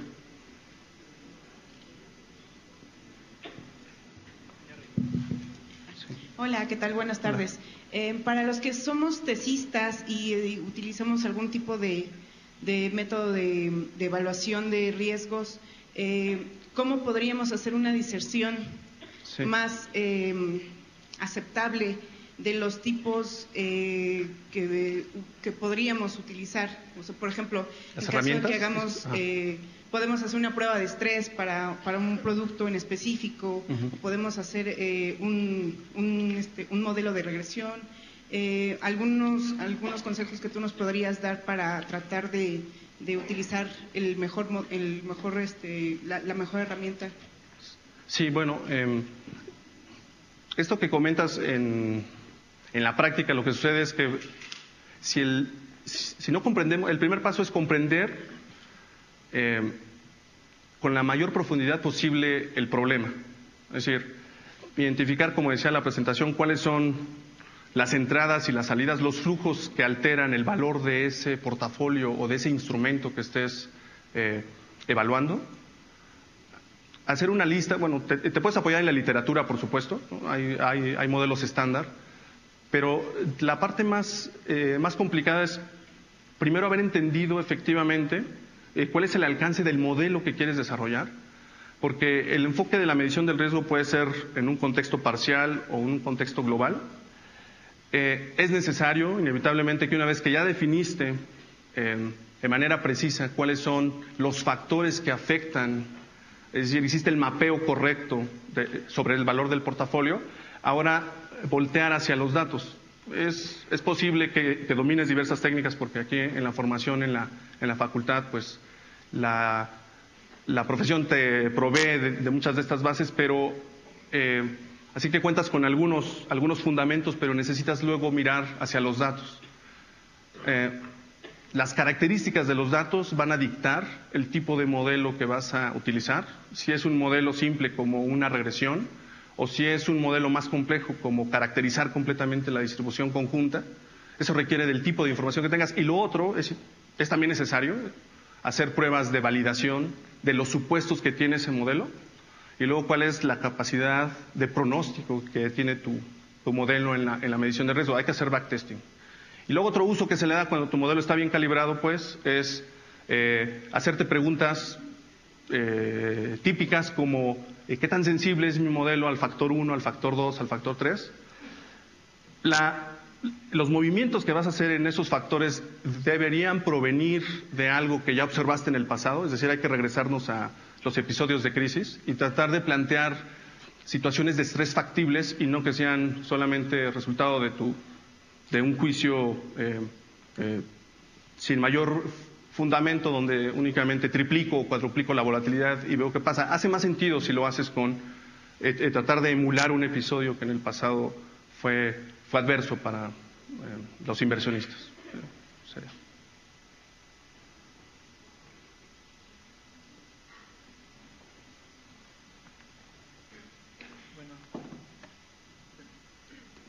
Ok, si es todo, pues muchas gracias.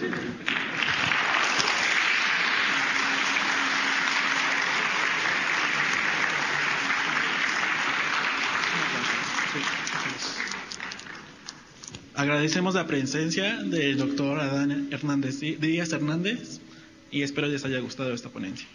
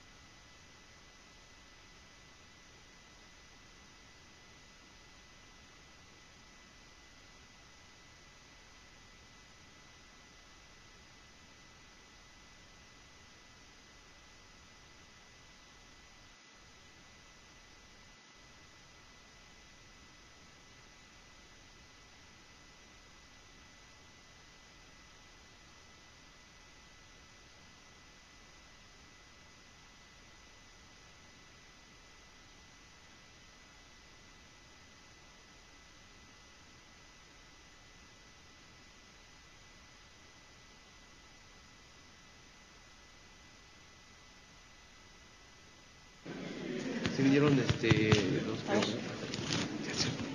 A ver, ¿puede, ¿puedo hablar, por favor? Sí, ¿Ahí está perfecto? ¿Sí, Sí, se sí. mueve? ¿Se sigue escuchando? eh, no te preocupes. No. Ok, entonces pongo. Sí.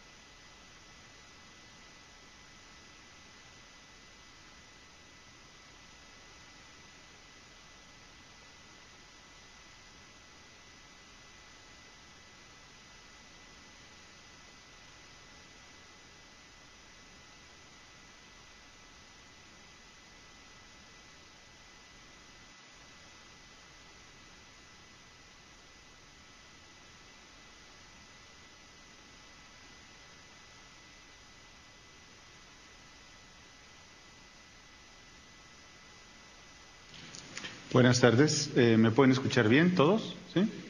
Perfecto. Ah, pues muchísimas gracias a los jóvenes que están organizando el evento y al coordinador de actuaría también. Muchísimas gracias. A Viviana por ser la culpable indirecta de que esté aquí.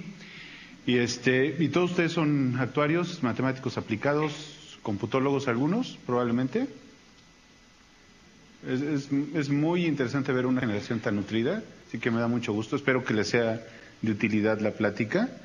Este, la plática que voy a dar, este, tengo muchas láminas, entonces espero que nadie caiga dormido en medio, esa es toda la intención. Y que la intuición detrás de las cosas que estamos tratando de modelar es muy importante. Entonces, tiene matemáticas subyacentes este, de buen nivel, pero lo importante es que lo que quiero dejar es la intuición para que vean cómo algunas de las herramientas que uno aprende cuando está en esta facultad pueden ser muy útiles para modelar cosas que eh, recientemente se han tornado muy importantes. Bueno, eh, dado que yo trabajo en el Banco de México y esta es una presentación que hago a título personal, debo decir que las opiniones que yo exprese aquí son las mías y no representan las opiniones de nadie del Banco de México, el board de directores y del gobernador. Eh, la plática, las láminas están en inglés, creo que solo algunas están muy pocas en español. Espero que también les sea útil. Ahora, eh, esto tiene el objetivo de que ven, estas son láminas que se han presentado en, diversos foros, universidades internacionales e incluso en el Fondo Monetario Internacional. Entonces, espero que también les, les dé gusto saber eso. Eh, la plática eh, consiste de estos puntos. Vamos a, voy a dar una pequeña introducción acerca de qué es lo que, de lo que voy a hablar. Eh, y voy a hablar de lo que hemos hecho hasta ahora. Ya tengo eh, trabajando en este tipo de modelos más de 10 años en el Banco de México. Entonces, que les voy a mostrar qué es lo que hemos hecho. Eh, les voy a hablar acerca de para qué queremos esto, por qué es útil y por qué me dan oportunidad a mí de, a pesar de que trabajo en el banco, pueda hacer estas cosas. Eh, voy a hablar también de nuestros últimos eh, eh, desarrollos que tenemos, que es utilizando cómo integrar para este análisis información de los sistemas de pago y de reportes regulatorios que recibimos con frecuencia desde diaria hasta mensual en el Banco de México. Y luego, cuáles son los retos hacia adelante, que siempre es bueno tener una visión hacia qué vamos a hacer hacia adelante. Bueno, ¿Alguno de ustedes ha oído antes qué es el riesgo sistémico? Ustedes que deben estar familiarizados con los riesgos. Ya, sé que lo están leyendo, pero alguno antes lo habría oído. ¿No? Bueno, esencialmente el riesgo sistémico es el riesgo de la ocurrencia de un evento que ponga en peligro el sistema del cual estamos hablando. El riesgo sistémico es un concepto más general que solo aplicado a finanzas y a eh, sistemas bancarios. Entonces puede aplicar a sistemas neuronales, sistemas físicos, sistemas de transporte. Entonces lo que nosotros en el banco debemos de estar a cargo es de estar estudiando eh, los posibles eh, situaciones o fenómenos que nos podrían llevar a, a, que el sistema financiero en su totalidad deje de funcionar o una buena parte de este. Ahora, esto ya lo dije. Eh, eh, esta caracterización del, riesgo sistémico la propusimos hace muchos años, desde el 2006, en el que cuando estábamos diseñando un modelo para estudiarlo con uno de mis primeros jefes, cuando regresé del doctorado, pensamos que se puede modelar así, un choque, un golpe o un evento externo que, que ocasiona algo en el sistema y luego un mecanismo de propagación. Entonces es como si tienen una esfera, le pegan en un lado y eso se transmite a, todo, a todos los demás lugares. Eso Así podemos caracterizar el riesgo sistémico y así lo podemos estudiar. Otra característica muy importante es que es state dependent y time variant. ¿Qué quiere decir esto? Que dependiendo del estado actual en un punto en particular del, eh, del, sistema en cuestión, puede ser mayor o menor, eh, puede existir una mayor o menor probabilidad de que el sistema caiga en una situación desagradable para todos. Bueno, ahora, y yo hago esto utilizando una herramienta que aprendí aquí en la facultad, que es análisis de redes. No el análisis de redes como probablemente lo sigan viendo aquí en los eh, problemas de optimización y flujo máximo, no, pero todas las ideas y toda la base que tomé de los cursos de investigación de operaciones, análisis de redes y otro que me dieron de teoría de gráficas. Este han sido básicamente la base que me ha ayudado mucho. Ah, y la tesis de doctorado también, perdón, de licenciatura, que la hice con una persona aquí del IMATE, a la cual también le debo muchísimo. Y eh, cuando regresé al doctorado me dijo mi jefe, oye, ¿crees que podemos modelar el riesgo sistémico utilizando redes de Petri? Y yo le dije, no lo sé, pero déjame investigar y a lo mejor sí. Y las redes de Petri era una, un formalismo matemático que yo estudié en mi tesis de licenciatura y que permite modelar sistemas distribuidos. Entonces, este, resultó que sí, que sí se puede modelar y ahorita van a ver cómo lo hacemos. Ahora, es importante hacer una distinción y señalar claramente que el riesgo sistémico no es lo mismo que el riesgo de default o el riesgo de crédito. ¿no? Y eso sí lo estudian muy bien los bancos, porque ellos dan créditos. Entonces, si un banco da un crédito, tiene que estudiar cuándo a la persona, a la institución, a la compañía a la que le presta, puede caer en default. Entonces, eso es riesgo de crédito. El riesgo sistémico no es eso. Eh, los bancos eh, solo se preocupan a, acerca del riesgo de crédito, no se preocupan por el riesgo sistémico. Eh, además, ellos no tienen manera de controlarlo, ¿no? O sea, ¿cómo pueden ellos controlar el riesgo de que si cae él van a caer otros o si caen varios, entonces se arma un desbarajuste? No es su responsabilidad, es responsabilidad de las autoridades reguladoras y las autoridades financieras manejar y por eso tenemos que tener modelos para estudiar el riesgo sistémico. Eh, y es nuestro deber crear incentivos para que los bancos traten de minimizar su contribución al riesgo sistémico. Ahora, ¿cuáles son los posibles orígenes del riesgo sistémico?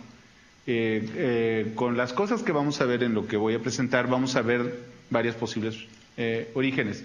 Uno de los posibles orígenes es la sincronización del comportamiento, es decir, cuando todos se comportan en manada y hacen lo mismo. Esto lo hemos visto en los mercados financieros. ¿Han oído del comportamiento de manada? Cuando alguien vende y entonces todo el mundo empieza a vender y entonces le, todo el mundo, por esta acción coordinada, le pegan al precio de un activo y entonces llevan a todos a una situación poco deseable.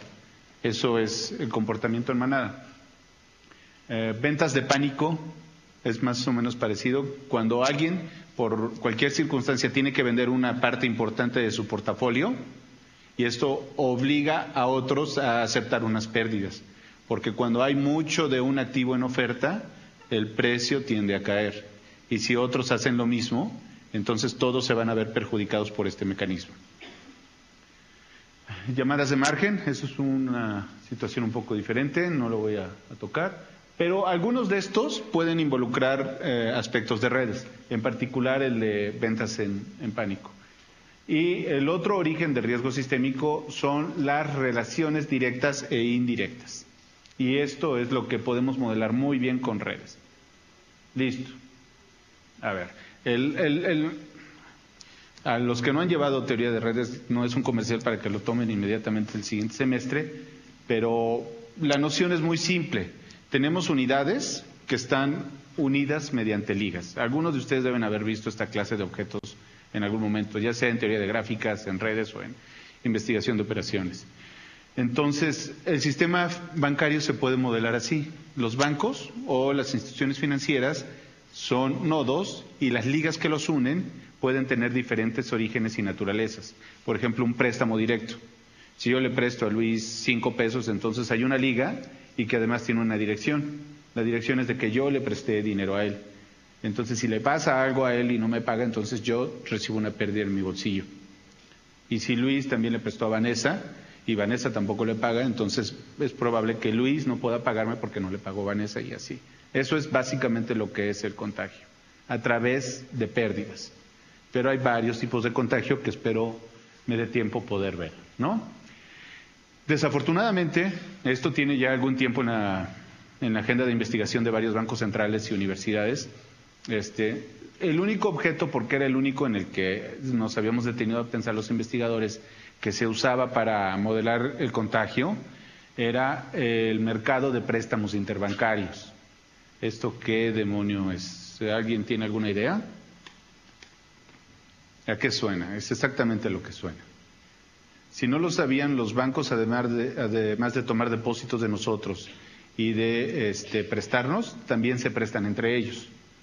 Ese es el mercado interbancario. Entonces, este mercado genera la posibilidad de que haya contagio. Es decir, que si un banco, porque entró en una situación de dificultad, no le paga a otro, va a poner en riesgo no solo a su banco, sino al sistema. Y era un mecanismo muy natural para estudiar contagio. ¿Qué más podemos decir? Pero, y eso es en lo que nosotros hemos venido insistiendo más recientemente, los bancos interactúan en muchos mercados. Es decir, que si eh, yo fallo en cumplir mis obligaciones con otro banco, no voy a fallar solo en mis préstamos interbancarios directos. Es posible que si entre Luis y yo contratamos un derivado, tampoco lo honre, ¿no? Quedamos, eh, yo te vendo un derivado, te voy a cubrir de una alza en las tasas de interés con esta prima y etcétera. Pero dado que yo no estoy en condiciones de honrar mi contrato, entonces meto también en problemas a Luis. Hay otro tipo de operaciones que se llaman reportos. No sé si habrán oído hablar acerca de los reportos. Los reportos es un contrato en el que yo le vendo a alguien un título, un valor, un bono, y prometemos que se lo voy a recomprar más adelante. Ese es otro mercado también muy interesante, porque es un mercado en el cual eh, las instituciones utilizan mucho para allegarse liquidez. Cuando yo compro un título, y lo tengo aquí, es un activo mío. Pero pueden haber ocasiones en las que yo no necesite el título, sino que necesito efectivo. ¿Qué hago? Se lo vendo a él y le digo, nada más guárdame los cinco días y después yo te lo recompro. Ese es un reporte. Entonces, resulta que los niveles de interacción entre los bancos es mucho más complejo de lo que originalmente pensábamos y que los posibles vehículos de contagio son muchos más que solo este tipo de mercado. Voy un poco lento, disculpen porque me gusta platicar mucho. ¿Qué vamos a hacer? A ver, parte de lo que hemos hecho. Hemos hecho simulaciones contrafactuales, así se llaman, yo no les puse así. Y eh, lo que hacemos básicamente con estas simulaciones es que simulamos el caso en que este banco no va a poder pagar, vamos a ver qué pasa. Y eso es muy útil. Ahorita vamos a ver. También hemos simulado contagio contrafactual eh, utilizando ligas con otros intermediarios financieros del exterior y, por ejemplo, fondos de pensión, fondos de inversión, casas de bolsa. Y eso también ha resultado muy útil para nosotros. Eh, las, eh, el concepto básico en todos estos estudios de los que les voy a hablar en un principio, antes de que entre ya en otro tipo de mercados y de interacciones, están basados en un concepto muy importante que se llama exposición al incumplimiento. ¿Qué quiere decir? Es la cantidad de dinero que yo podría perder en caso de que él me incumpla. Entonces, si yo le presté 10 pesos directo, mi exposición al incumplimiento son 10 pesos. Pero si además tenemos un derivado y que si él me incumple no me va a pagar otros tres pesos, entonces ya son trece pesos. Y si además él emitió un bono y yo lo compré, tengo otros veinte pesos en exposición. Entonces hay muchos conceptos que generan exposiciones, no solo los préstamos directos. Entonces el concepto fundamental para los estudios de contagio es la exposición al incumplimiento. ¿Cuánto podría yo perder en caso de que mi contraparte quiebre. Y todos estos tipos de transacciones generan exposiciones. A ver, por ejemplo, las transacciones de, en divisas, ¿por qué generan exposición? ¿Por qué creen? Si veo gente que se queda dormida, empiezo a preguntar más, ¿eh? En serio, ¿eh? ¿Por qué?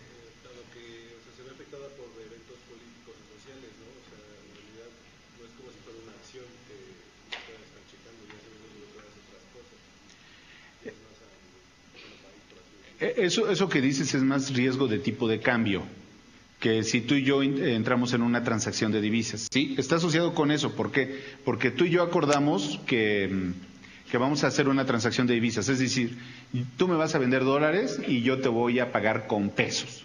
Entonces, tú me mandas los dólares y ¿qué crees? De pronto yo ya troné. Entonces tú perdiste todos esos dólares porque yo no te mandé los pesos. Y este es un riesgo muy clásico que se conoce con el nombre de riesgo Herstatt.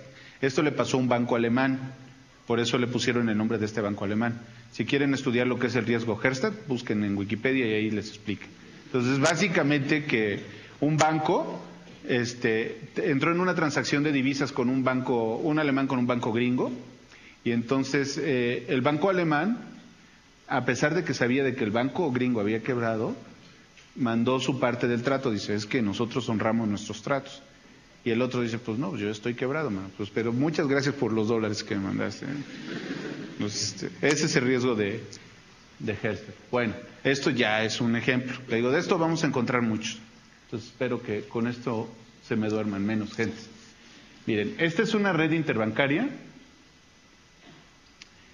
donde cada uno de estos nodos representa un banco. Esto es exclusivamente bancos. Y el grosor de las líneas representan el tamaño de cuánto puede perder. Por ejemplo, si la liga va de aquí para acá, termina acá, ¿cuánto puede perder este amigo en caso de que este amigo truene? Y entonces lo que hacemos con las simulaciones de contagio es que tronamos este y vemos qué pasa. Luego tronamos este y vemos qué pasa. Esas se llaman simulaciones contrafactuales, ¿no? Pam, pam, pam, pam. Y entonces escogemos la peor posible cadena de contagio de cada día y eso es lo que ven aquí. ¿No? No ven todas las cuarenta y tantas simulaciones, sino ven la peor. Y esto está representado de dos maneras. Vemos los bancos cuyo capital regulatorio quedaría abajo del 4% en rojo. Estos cuatro están en serios problemas. Vemos los que terminarían entre 4 y 8, de todos modos siguen en problemas. Y los que están en azul son bancos que no se ven afectados por el riesgo de contagio. ¿no? Y a lo que me refería con time variant, aquí lo pueden ver, ¿no? El riesgo sistémico no es constante a lo largo del tiempo. Listo. Pero también podemos hacer otro ejercicio muy interesante. Tenemos un modelo macroeconómico, un vector autorregresivo, que vincula las variables macroeconómicas con el estado financiero de los bancos. Es un modelo muy interesante. Entonces, modelamos, por ejemplo, van a subir este, las tasas de interés en 10 puntos base, 20 puntos base. Eso generalmente altera el estado financiero de los bancos. Eso se llama un choque y ese es un choque que pone el sistema en estrés. Entonces este modelo también lo usamos para hacer pruebas de estrés. Y se refiere a esto, que los bancos no van a empezar todos con el estado inicial que tendrían si no les damos un golpecito. Entonces ya les dimos un golpecito y si se fijan los amarillos ya están debilitados. El rojo cayó, pero los amarillos están debilitados. Y miren lo que pasa. Todos estos, después de evaluar todas las posibles rondas de contagio, todos estos bancos se verían comprometidos o caerían. Entonces eso es muy útil, porque de esta manera podemos estudiar eventos macroeconómicos que pueden afectar la salud de nuestro sistema bancario. Ahora, eh, tengo que decir que este fue un choque muy severo. ¿eh? Fue una caída del Dow Jones con una subida del tipo de cambio, la caída de la bolsa. Bueno, era básicamente el Armagedón. Pero eso es útil, es muy útil para nosotros como porque esa es nuestra tarea. Ya vieron, ahora sí están entendiendo porque yo lo que me preocupo es de todo el sistema. Si un banco cae, ni modo, eso es de la bancaria. Pero si se va el sistema, entonces sí apunten al Banco de México. Y miren, este es otro ejercicio.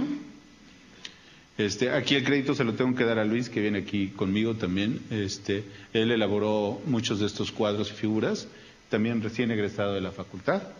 Y lo que estamos aquí es utilizando más eh, intermediarios financieros. Entonces, ya no vamos a estudiar el contagio solo entre bancos, porque eso tampoco es muy realista, ¿verdad? O sea, también, si se va a un fondo de pensión, si se va a una FORE, si se va a una casa de bolsa, pueden pasar cosas. Entonces, con un modelo de contagio extendido es lo que estudiamos. Aquí, si se fijan, además podemos, con el modelo que tenemos, estudiar las pérdidas que se originan a cada uno de los intermediarios. Los bancos tendrían que ser los que absorben las mayores pérdidas, después las casas de bolsa y después el resto. Y aquí vemos cuántas instituciones por tamaño, no en número de instituciones, sino por tamaño de activos, qué porcentaje del sistema bancario se vería afectado en caso de ocurrir cada una de las peores cadenas. ¿Eh? Esto lo pueden ver en el reporte de estabilidad del sistema financiero que produce el Banco de México cada año que seguramente todos revisan cuando no tiene nada que leer. Y miren, este es otro ejemplo muy bonito de por qué es time variant.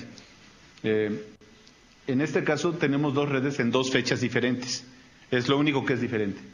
Entonces, aquí adentro están los bancos, si no me equivoco, no. Acá adentro están las casas de bolsa y acá afuera son los bancos. Entonces, vemos que aquí hay dos cuates que se portan muy mal. Esto quiere decir que en caso de que se vaya cualquiera de ellos, el otro cae casi con seguridad. Aquí vemos algunas líneas gruesas, pero no son tan preocupantes. En cambio, ven esta otra fecha. Esta línea naranja es muy grande.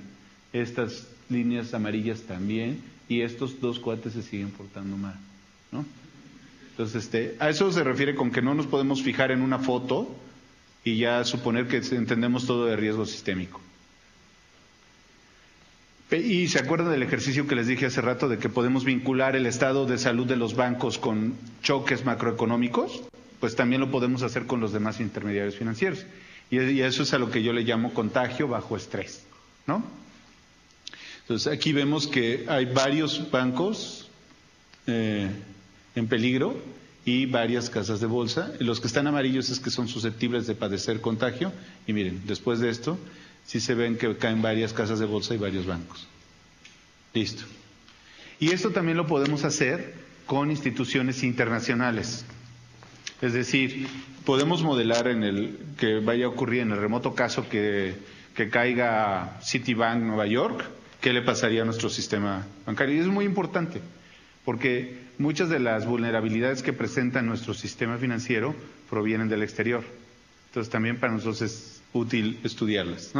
Entonces aquí eh, eh, esta gráfica estamos muy orgullosos con Luis de haberla producido, porque aquí vemos cómo en realidad las exposiciones, fíjense este periodo del 2009, cómo era un periodo álgido. Aquí las, este es un diagrama de caja y brazos en el que podemos ver que las distribuciones son más pesadas. Esto es como parte, de, como proporción del capital de cada banco. El capital en un banco es el dinero que tienen para afrontar pérdidas inesperadas. Entonces, aquí se le estaría yendo como el 20% a un banco si tiene una de estas exposiciones. Eso es un montón. Y fíjense cómo, fíjense cómo la distribución ha tendido a disminuir, ¿no? Y, con, e, y estas son del exterior. Es decir, nuestro sistema bancario está menos expuesto a que le vengan problemas de contagio del exterior. Listo. Ah, ahora vamos a, a, brincar a otro modelo de contagio. Este, ¿Cuánto tiempo tengo?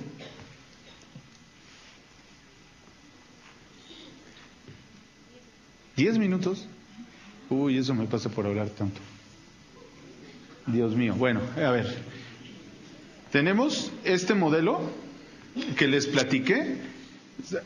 Todos llevan contabilidad. Díganme que no se las han quitado porque a mí sí me obligaron a tomarla. Ok. Entonces tienen dos lados en el balance, activos y pasivos. El contagio que acabamos de ver es en el lado de los... ¿De qué lado? Piensen, una exposición, ¿qué significa? ¿No? Bueno, activos. ¿No? Porque es algo que yo tengo y que voy a perder. Es un contagio en el que yo pierdo, pierdo en mi parte activa, ¿no? Pero también eh, puede existir contagio en la parte pasiva.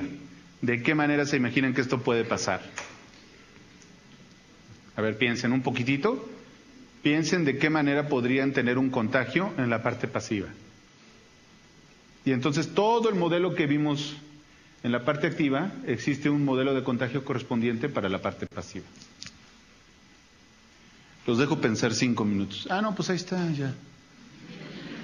Desde aquí lo dice completamente. ¿eh? Listo. Esto, esto, esto es principalmente. Ante el evento de un choque al sistema, existe una cancelación de funding, ¿no? Normalmente los bancos tienen, saben que ellos no tienen todo el dinero de todo lo que poseen en los activos, ¿verdad? Entonces, ¿eso cómo lo financian? Con pasivos. ¿A quién le piden prestado? A ver, digan, ¿a quién le piden prestado los bancos? A otros bancos, ya vimos el interbancario, ¿y a quién más? A ustedes. Sus depósitos son préstamos que ustedes les hacen a los bancos. Entonces, en el caso, imagínense que de pronto todos ustedes escuchan un rumor y dicen, es que el banco de Serafín va a caer. ¿Y qué hacen todos ustedes? Van y corren y sacan el dinero. Eso es lo que se llama una corrida bancaria. Y eso es lo que significa perder el financiamiento. Y eso a veces es tan serio como registrar pérdidas. Entonces, las quiebras, ya ustedes saben ahora de banco, se pueden dar por dos fenómenos. Una por pérdidas y la otra por retiro de fondeo. Entonces, la crisis, la famosa crisis del 2008, yo les puedo decir que fue una crisis de liquidez, en la que los bancos no sufrieron tanto por el lado de las pérdidas como del lado del fondeo. Entonces, eh, por eso es importante también estudiar este tipo de contagio, ¿no? Entonces, ¿qué pasa si ustedes me retiraron todos los depósitos que tenían en, en mí? ¿Qué hago yo? ¿Qué puedo hacer? ¿Qué harían ustedes si fueran un banco?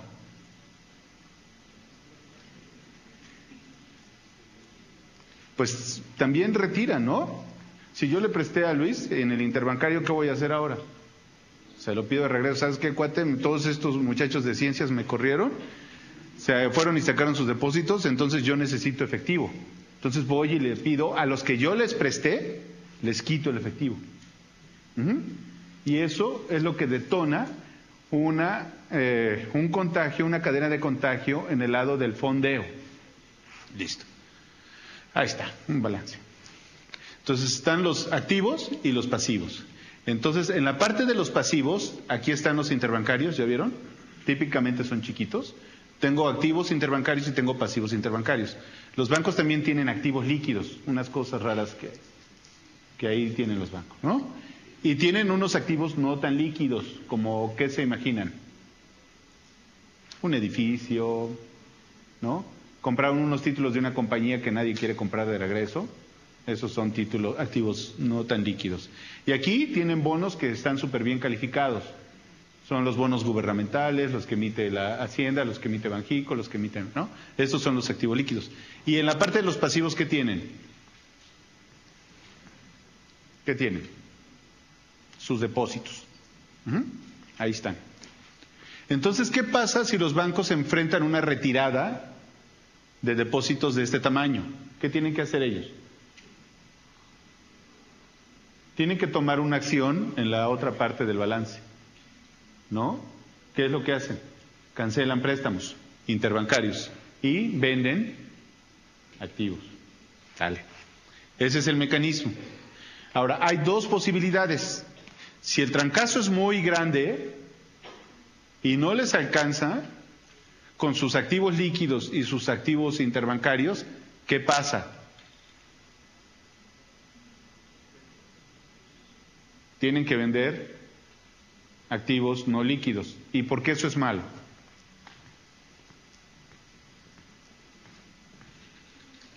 ¿Por qué es malo eso?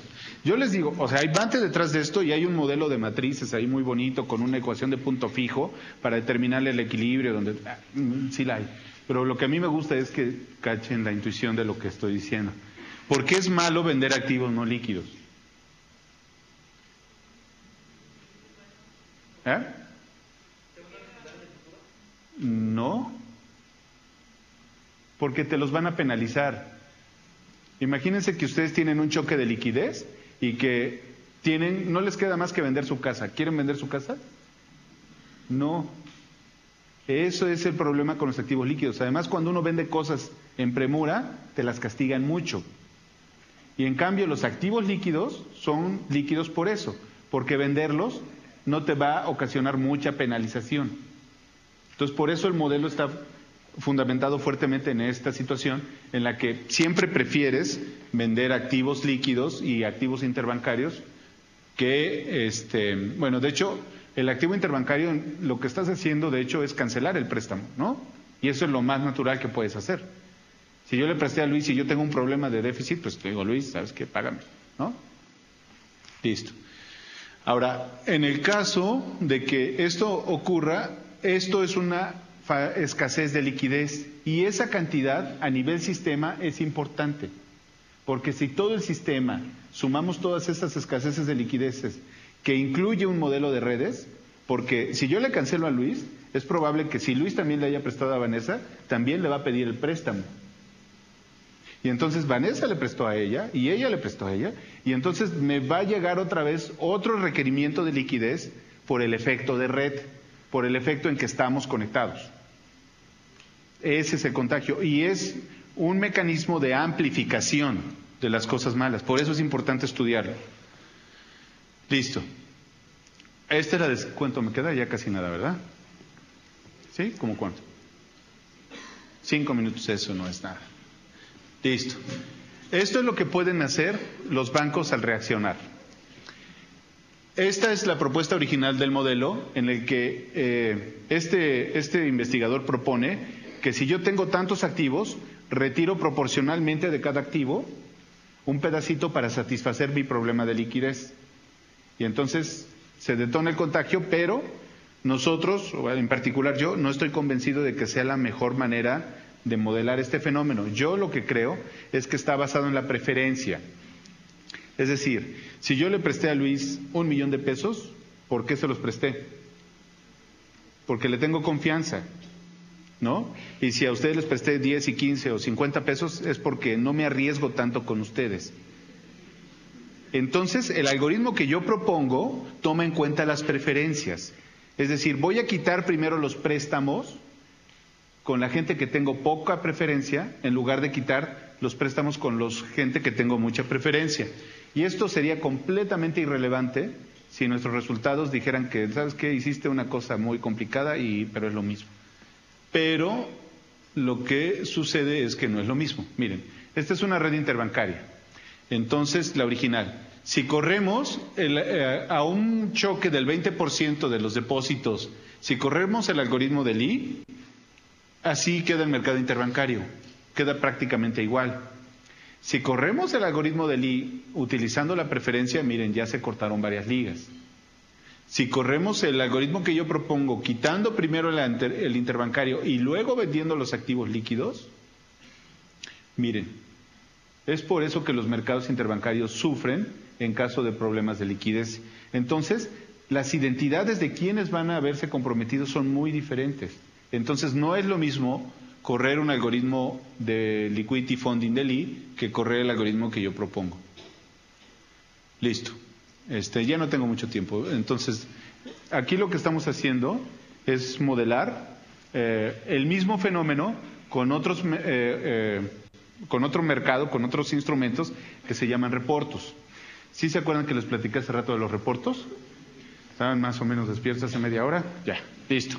Yo tengo un reporto contigo, te vendo un título a ti y tú me das el efectivo. Te prometo que te lo voy a recomprar. ¿No?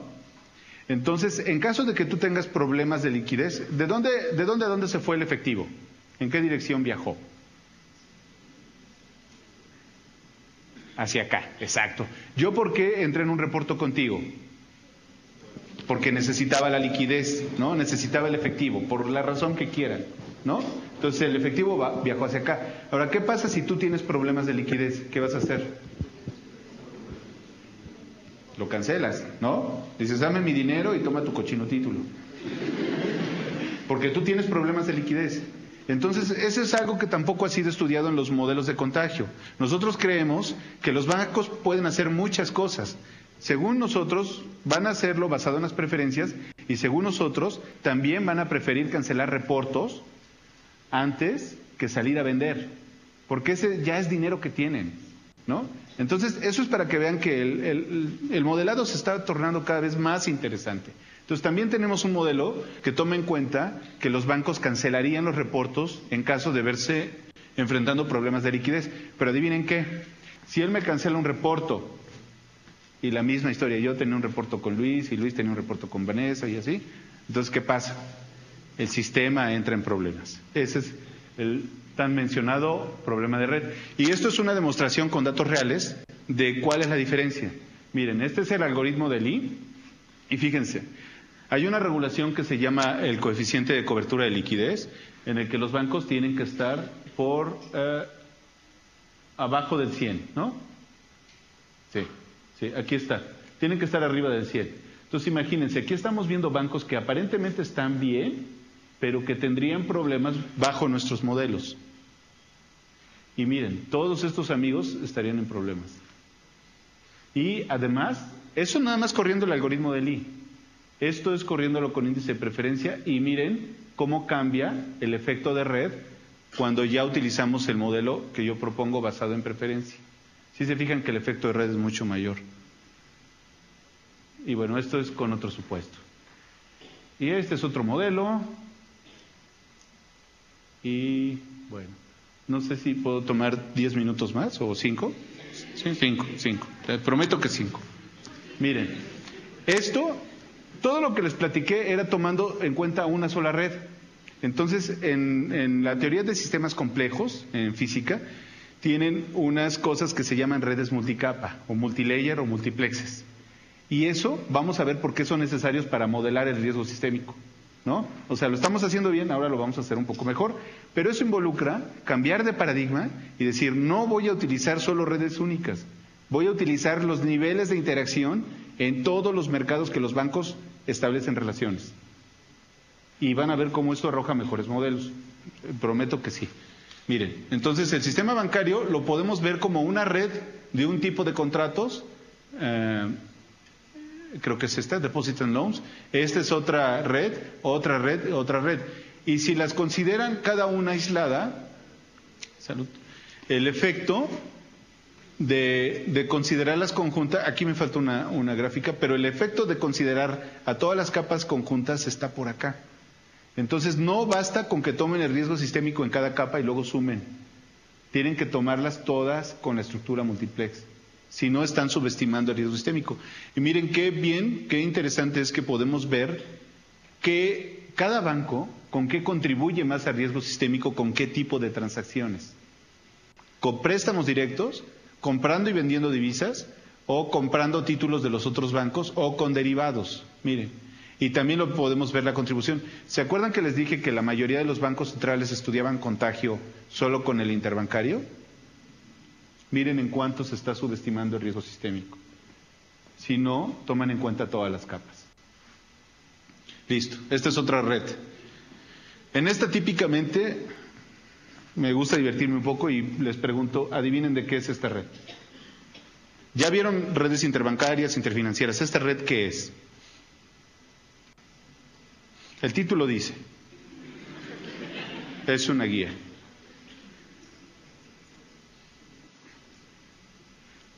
¿No? ¿Por qué hay dos puntos diferentes, unos azules y unos rojos? Porque representan agentes diferentes, ¿no? Ahí les va una guía más. Los azules son bancos. ¿Los rojos qué son?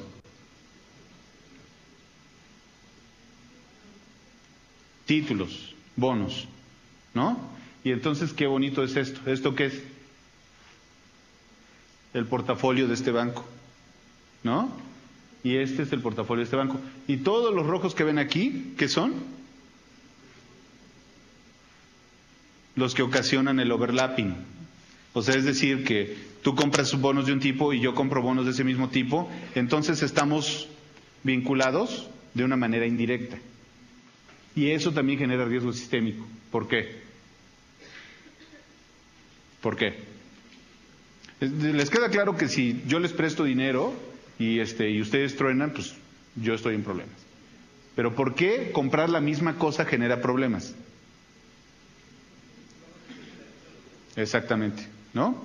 ¿Y qué creen? Que cuando yo salgo a vender un chorro de lo que tenemos los dos, te voy a afectar a ti y a ti y a los que tengan el mismo activo. Entonces, tener acciones comunes, títulos comunes, genera riesgo sistémico. Y eso, hasta ahorita, hasta donde sabemos, no se había cuantificado de la manera que lo estamos haciendo en México.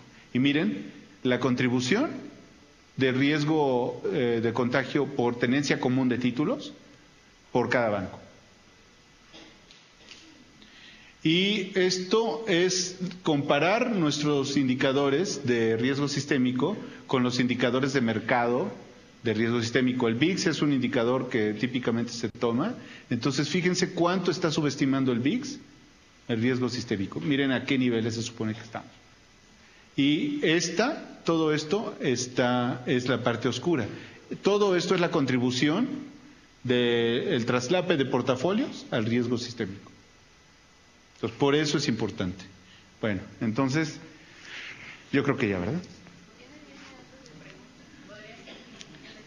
Sí, sí, este, les pongo esto así. Eh. Ya, porque si no me voy a frustrar por no haber puesto todas las láminas. No, y faltaron todas las que hizo Luis. Miren, esta está muy, muy interesante. Esta.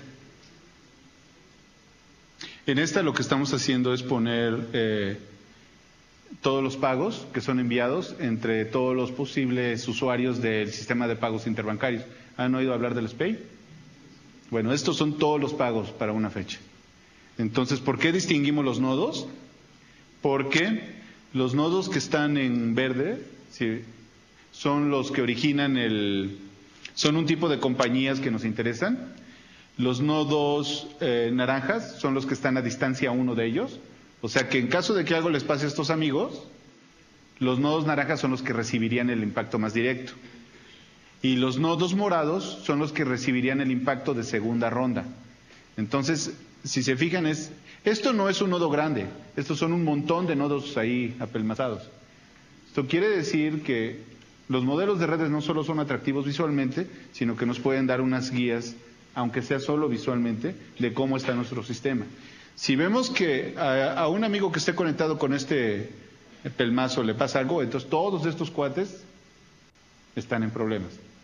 Y eso me lleva a otro problema que es el de detección de comunidades en redes pero del cual ya desafortunadamente no me dio tiempo, pero se refiere básicamente a lo que hicimos aquí con otro ex, eh, egresado de la facultad, en el que estudiamos cómo se organizan en grupos los, los bancos, ¿no? ¿Por qué esto es importante? Porque no solo te basta tener los alambritos y correr contagio, sino quieres saber si los bancos comparten características afines por sus patrones de conectividad. Entonces lo que hace este algoritmo que se llama modelo de bloques estocásticos, es un modelo muy interesante, lo que hace es detectar precisamente las comunidades. Es una de las maneras de detectar. Y está basado exclusivamente en sus patrones de conectividad. Esto, esto, esto es un boom importantísimo en, en el área de ciencias sociales, en social networks donde estudian. ¿Por qué? Porque lo que quieren ver es que si tienes la estructura de red y cómo se platican entre ellos, si hay cuates que juegan roles similares y si los puedes poner en un grupo. Y entonces, si entran a Netflix a ver una película, como están en el clúster de estos cuates, seguramente se la recomiendas porque probablemente tengan alguna afinidad, ¿no? Entonces, uno de los campos en los que el avance de esto se ha visto muy, muy eh, dramáticamente es en redes sociales. Ya nada más les explico esta y con esto concluyo. Y me disculpo de antemano por haber preparado tanto, pero es que sí, me, emociona eh, el tema un poco. Mire, al principio de la, de, antes de la crisis del, eh, del 2008, que aquí se ve, lo que teníamos esencialmente eran dos grupos, ¿no? Los bancos, por su patrón de conectividad, los podías organizar en dos grupos. Pero después, ¿qué pasó? Uno de los grupos se dividió, ¿no? Entonces ahora tenemos tres grupos. ¿Y qué pasó durante la crisis? Hubo muchos cambios de grupos, ¿no? Unos del grupo 2 se fueron al 3, del grupo 2 se fueron al 1 y del 1 al 2. Entonces, con esto podemos estar eh, estudiando la metaestructura de la, de la red, que también es un objeto de estudio muy relevante. Ya no me va a dar tiempo de hablar de core periférica. Y miren cómo se ha tornado más estable y más aburrido en tiempos más recientes. Pero al menos lo sabemos, ¿no? Y bueno, este es, ¿por qué pusimos estas redes? Eh, Luis tuvo el buen tino de proponerme esta visualización, porque esta es una red interfinanciera. Esto quiere decir que ahí hay bancos, fondos de pensión, aseguradoras, fondos de inversión, casas de bolsa. Y lo interesantísimo es que el algoritmo de graficación solito lo organizó en clústeres. Entonces, nuestra tarea a partir de mañana es ver quiénes están aquí, y tratar de explicar por qué están ahí, para entender por qué se juntan, qué es lo que los hace que el algoritmo de redes los haya puesto juntos, ¿no? Y miren, si quieren aquí le paramos porque ya abusé de mi tiempo y, y espero que tengan muchas preguntas.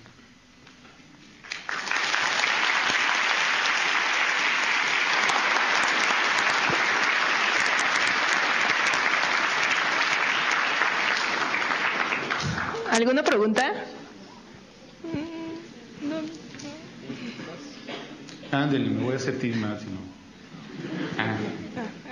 Arriba hay una. Arriba. Sí. Si quieren acá primero y ahorita. ¿Yo primero? Sí. Ah, tengo dos. Este, este algoritmo que, que usted este, propone, ya lo ha comentado en, en foros internacionales o en otros bancos. Este, ¿qué, qué le han dicho de esto? Y, y la otra duda es este, si, si cuando dice que, que ustedes creen que este, este modelo abarca mejor el riesgo sistémico, ¿se refiere a que en conjunto todos trabajan en este algoritmo o en el Banco de México cada quien tiene como que su, su algoritmo? Eh, mira, respondiendo rápido a la primera, este sí, regularmente la ventaja de ser investigador es que te dejan ir a congresos, entonces vas y presentas y presentas con la gente que hace cosas similares a, a ti, son los expertos también en el tema. Y básicamente sí, están de acuerdo, lo han recibido de manera muy positiva porque tiene sentido. Eh, tenemos nosotros una ventaja competitiva muy grande con respecto a otros bancos centrales en el que nosotros en México tenemos muchos datos. Entonces ellos, por ejemplo, no tienen una manera de estimar la preferencia. Nosotros sí, porque tenemos, estas redes que vieron las tenemos diarias. Entonces casi todas podemos estudiarlas y de esta manera podemos estudiar la permanencia de las ligas, ¿no? Que es algo asociado con qué tanto prefieres tener trato con alguien. Y en el Banco de México no, típicamente la gente que está a cargo de hacer los modelos de redes somos Luis y yo. Entonces, este, pues sí, básicamente lo que nosotros proponemos, obviamente con intercambio y cuestionamiento, es lo que se usa para, para esto. Buenas tardes. Em, respecto del, del modelo que usted propone, nos comenta que incluye la preferencia. Y bueno, vienen varias eh, cuestiones aquí. En primera instancia, ¿cómo está compuesto esa, ese nivel de preferencia? Y en segunda instancia, si ese nivel de preferencia no va más allá de una cuestión más de carácter legal o normativa, donde se esté limitando un poco la libre competencia, porque al fin y al cabo eh, sabemos que la diversificación es buena hasta cierto punto y lo que también se trata de delimitar es ese punto donde, donde esté como el nivel óptimo. Entonces, añadiendo esta variable de preferencia, se está limitando esta diversidad de, de poder eh, tener opciones entre A, B, C y D a tener solo entre A y B. Entonces, ¿cómo funciona más o menos esta situación? Gracias. Sí, la, pregunta es muy interesante. Este, no estamos nosotros obligándolos a que tengan preferencia. Simplemente lo estamos midiendo porque creemos que en caso de tú verte en dificultades como institución, en lugar de, eh, cortar una liga que para ti es importante y nosotros la medimos con datos históricos, este, tú prefieres cortar préstamos o relaciones de ligas que no has manifestado que son muy relevantes para ti. Y ahorita te digo cómo la medimos. Este, el índice de preferencia, que es como se llama, está propuesto por unos eh, eh, portugueses eh, del Banco Central de Portugal, en el que la miden ellos en un periodo de tiempo. Es decir, si en un mes el 80% de lo que yo presté se lo presté a él, oye, seguro que tenemos por ahí un deal, ¿no? O sea, los managers de las dos compañías se conocen, o, este, o él siempre me da mejor precio, y por eso tenemos esta relación. Esto, eh, mm, según yo, no tiene que ver con la libre competencia, porque esto se da en los mercados que se conocen como over the counter. El mercado interbancario es un mercado over the counter, en el que yo no los puedo decir cómo se organicen, sino que ellos se ponen de acuerdo solitos, ellos deciden cuánto se prestan, a qué plazo y a qué precio. Entonces, cosas que te pueden dar señales de que yo prefiero tener trato con él es el volumen de transacciones que hemos tenido en el último mes, porque si tomas una foto en un día tampoco es tan bueno, ¿verdad? Entonces no es un indicador tan bueno porque puede ser que en un día no te diga realmente la fuerza de la relación que existe entre dos compañías. Entonces así lo calculamos, ¿no? Entonces básicamente es el cociente de todo lo que he prestado en un periodo de tiempo, eh, eh, eso va abajo y arriba va todo lo que le he prestado a un individuo en particular. Y eso lo haces para todos y entonces ya sabes, con él el 80, con ellos el 5 y con ellos el 2 y el 1 y así, ¿no? Entonces, yo propongo que qué ligas cortas primero, las que tienen peso 1, 2, en lugar de cortar la que tiene 80, ¿no? Esa es la modificación. Pero no, no limitamos a los bancos, simplemente nos basamos en la información histórica para generar el modelo, para ayudarles a, a nuestros bancos a tomar las decisiones de esa manera. ¿Sí quedó claro?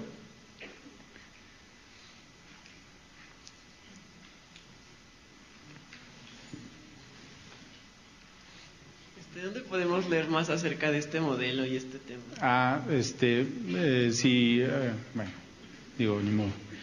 Eh, si buscas en Google este, mi nombre, vas a encontrar ahí un perfil que tengo en Google Académico y ahí vienen todos los artículos que he producido. Entonces, este, todo lo que vieron aquí está de alguna u otra manera en un artículo. Y, este, y ahí pueden verlos. Ya si se atoran, pues me tiran un correo y ya les puedo ahí ayudar a entender. O si ven algún error, bueno. No lo digan, nada más me escriben. ¿Algo más? No. Bueno, pues muchísimas gracias, ¿eh? qué bueno que vinieron.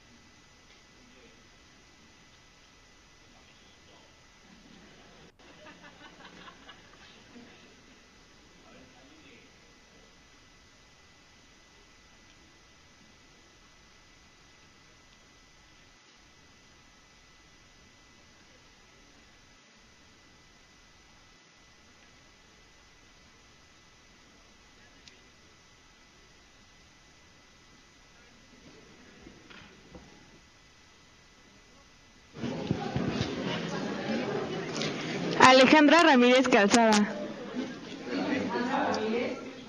Cal- calzada. Alejandra Ramírez Alejandra. Alejandra Ramírez Calzada, Facultad de Ciencias. ¿Dónde? Gracias por participar.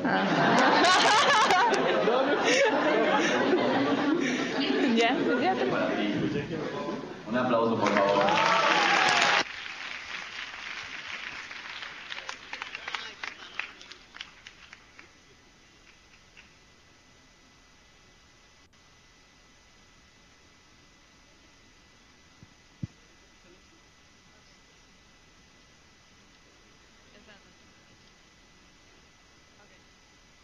Alfonso Vadillo.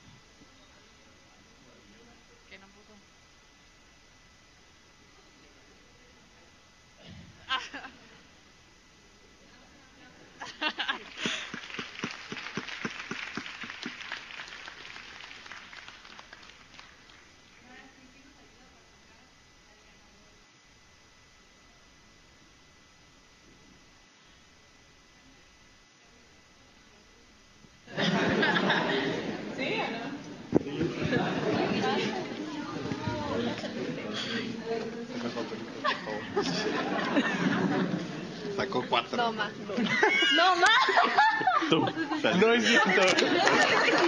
Por este que salió, güey. Por este que Sacó su boleto. No, sí fue legal. Sí fue legal. Fue legal, lo sacó así de la mano. Sí, lo sacó así de la nada. Sí. Como quieran, o sea.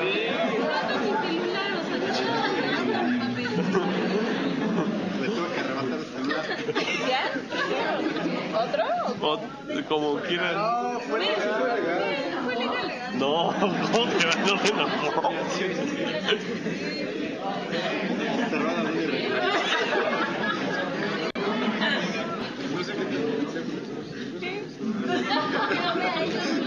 ¿Sí?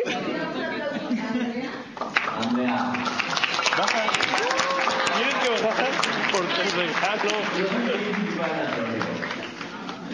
¿Qué dice? Ella solo quería Muchas gracias por participar.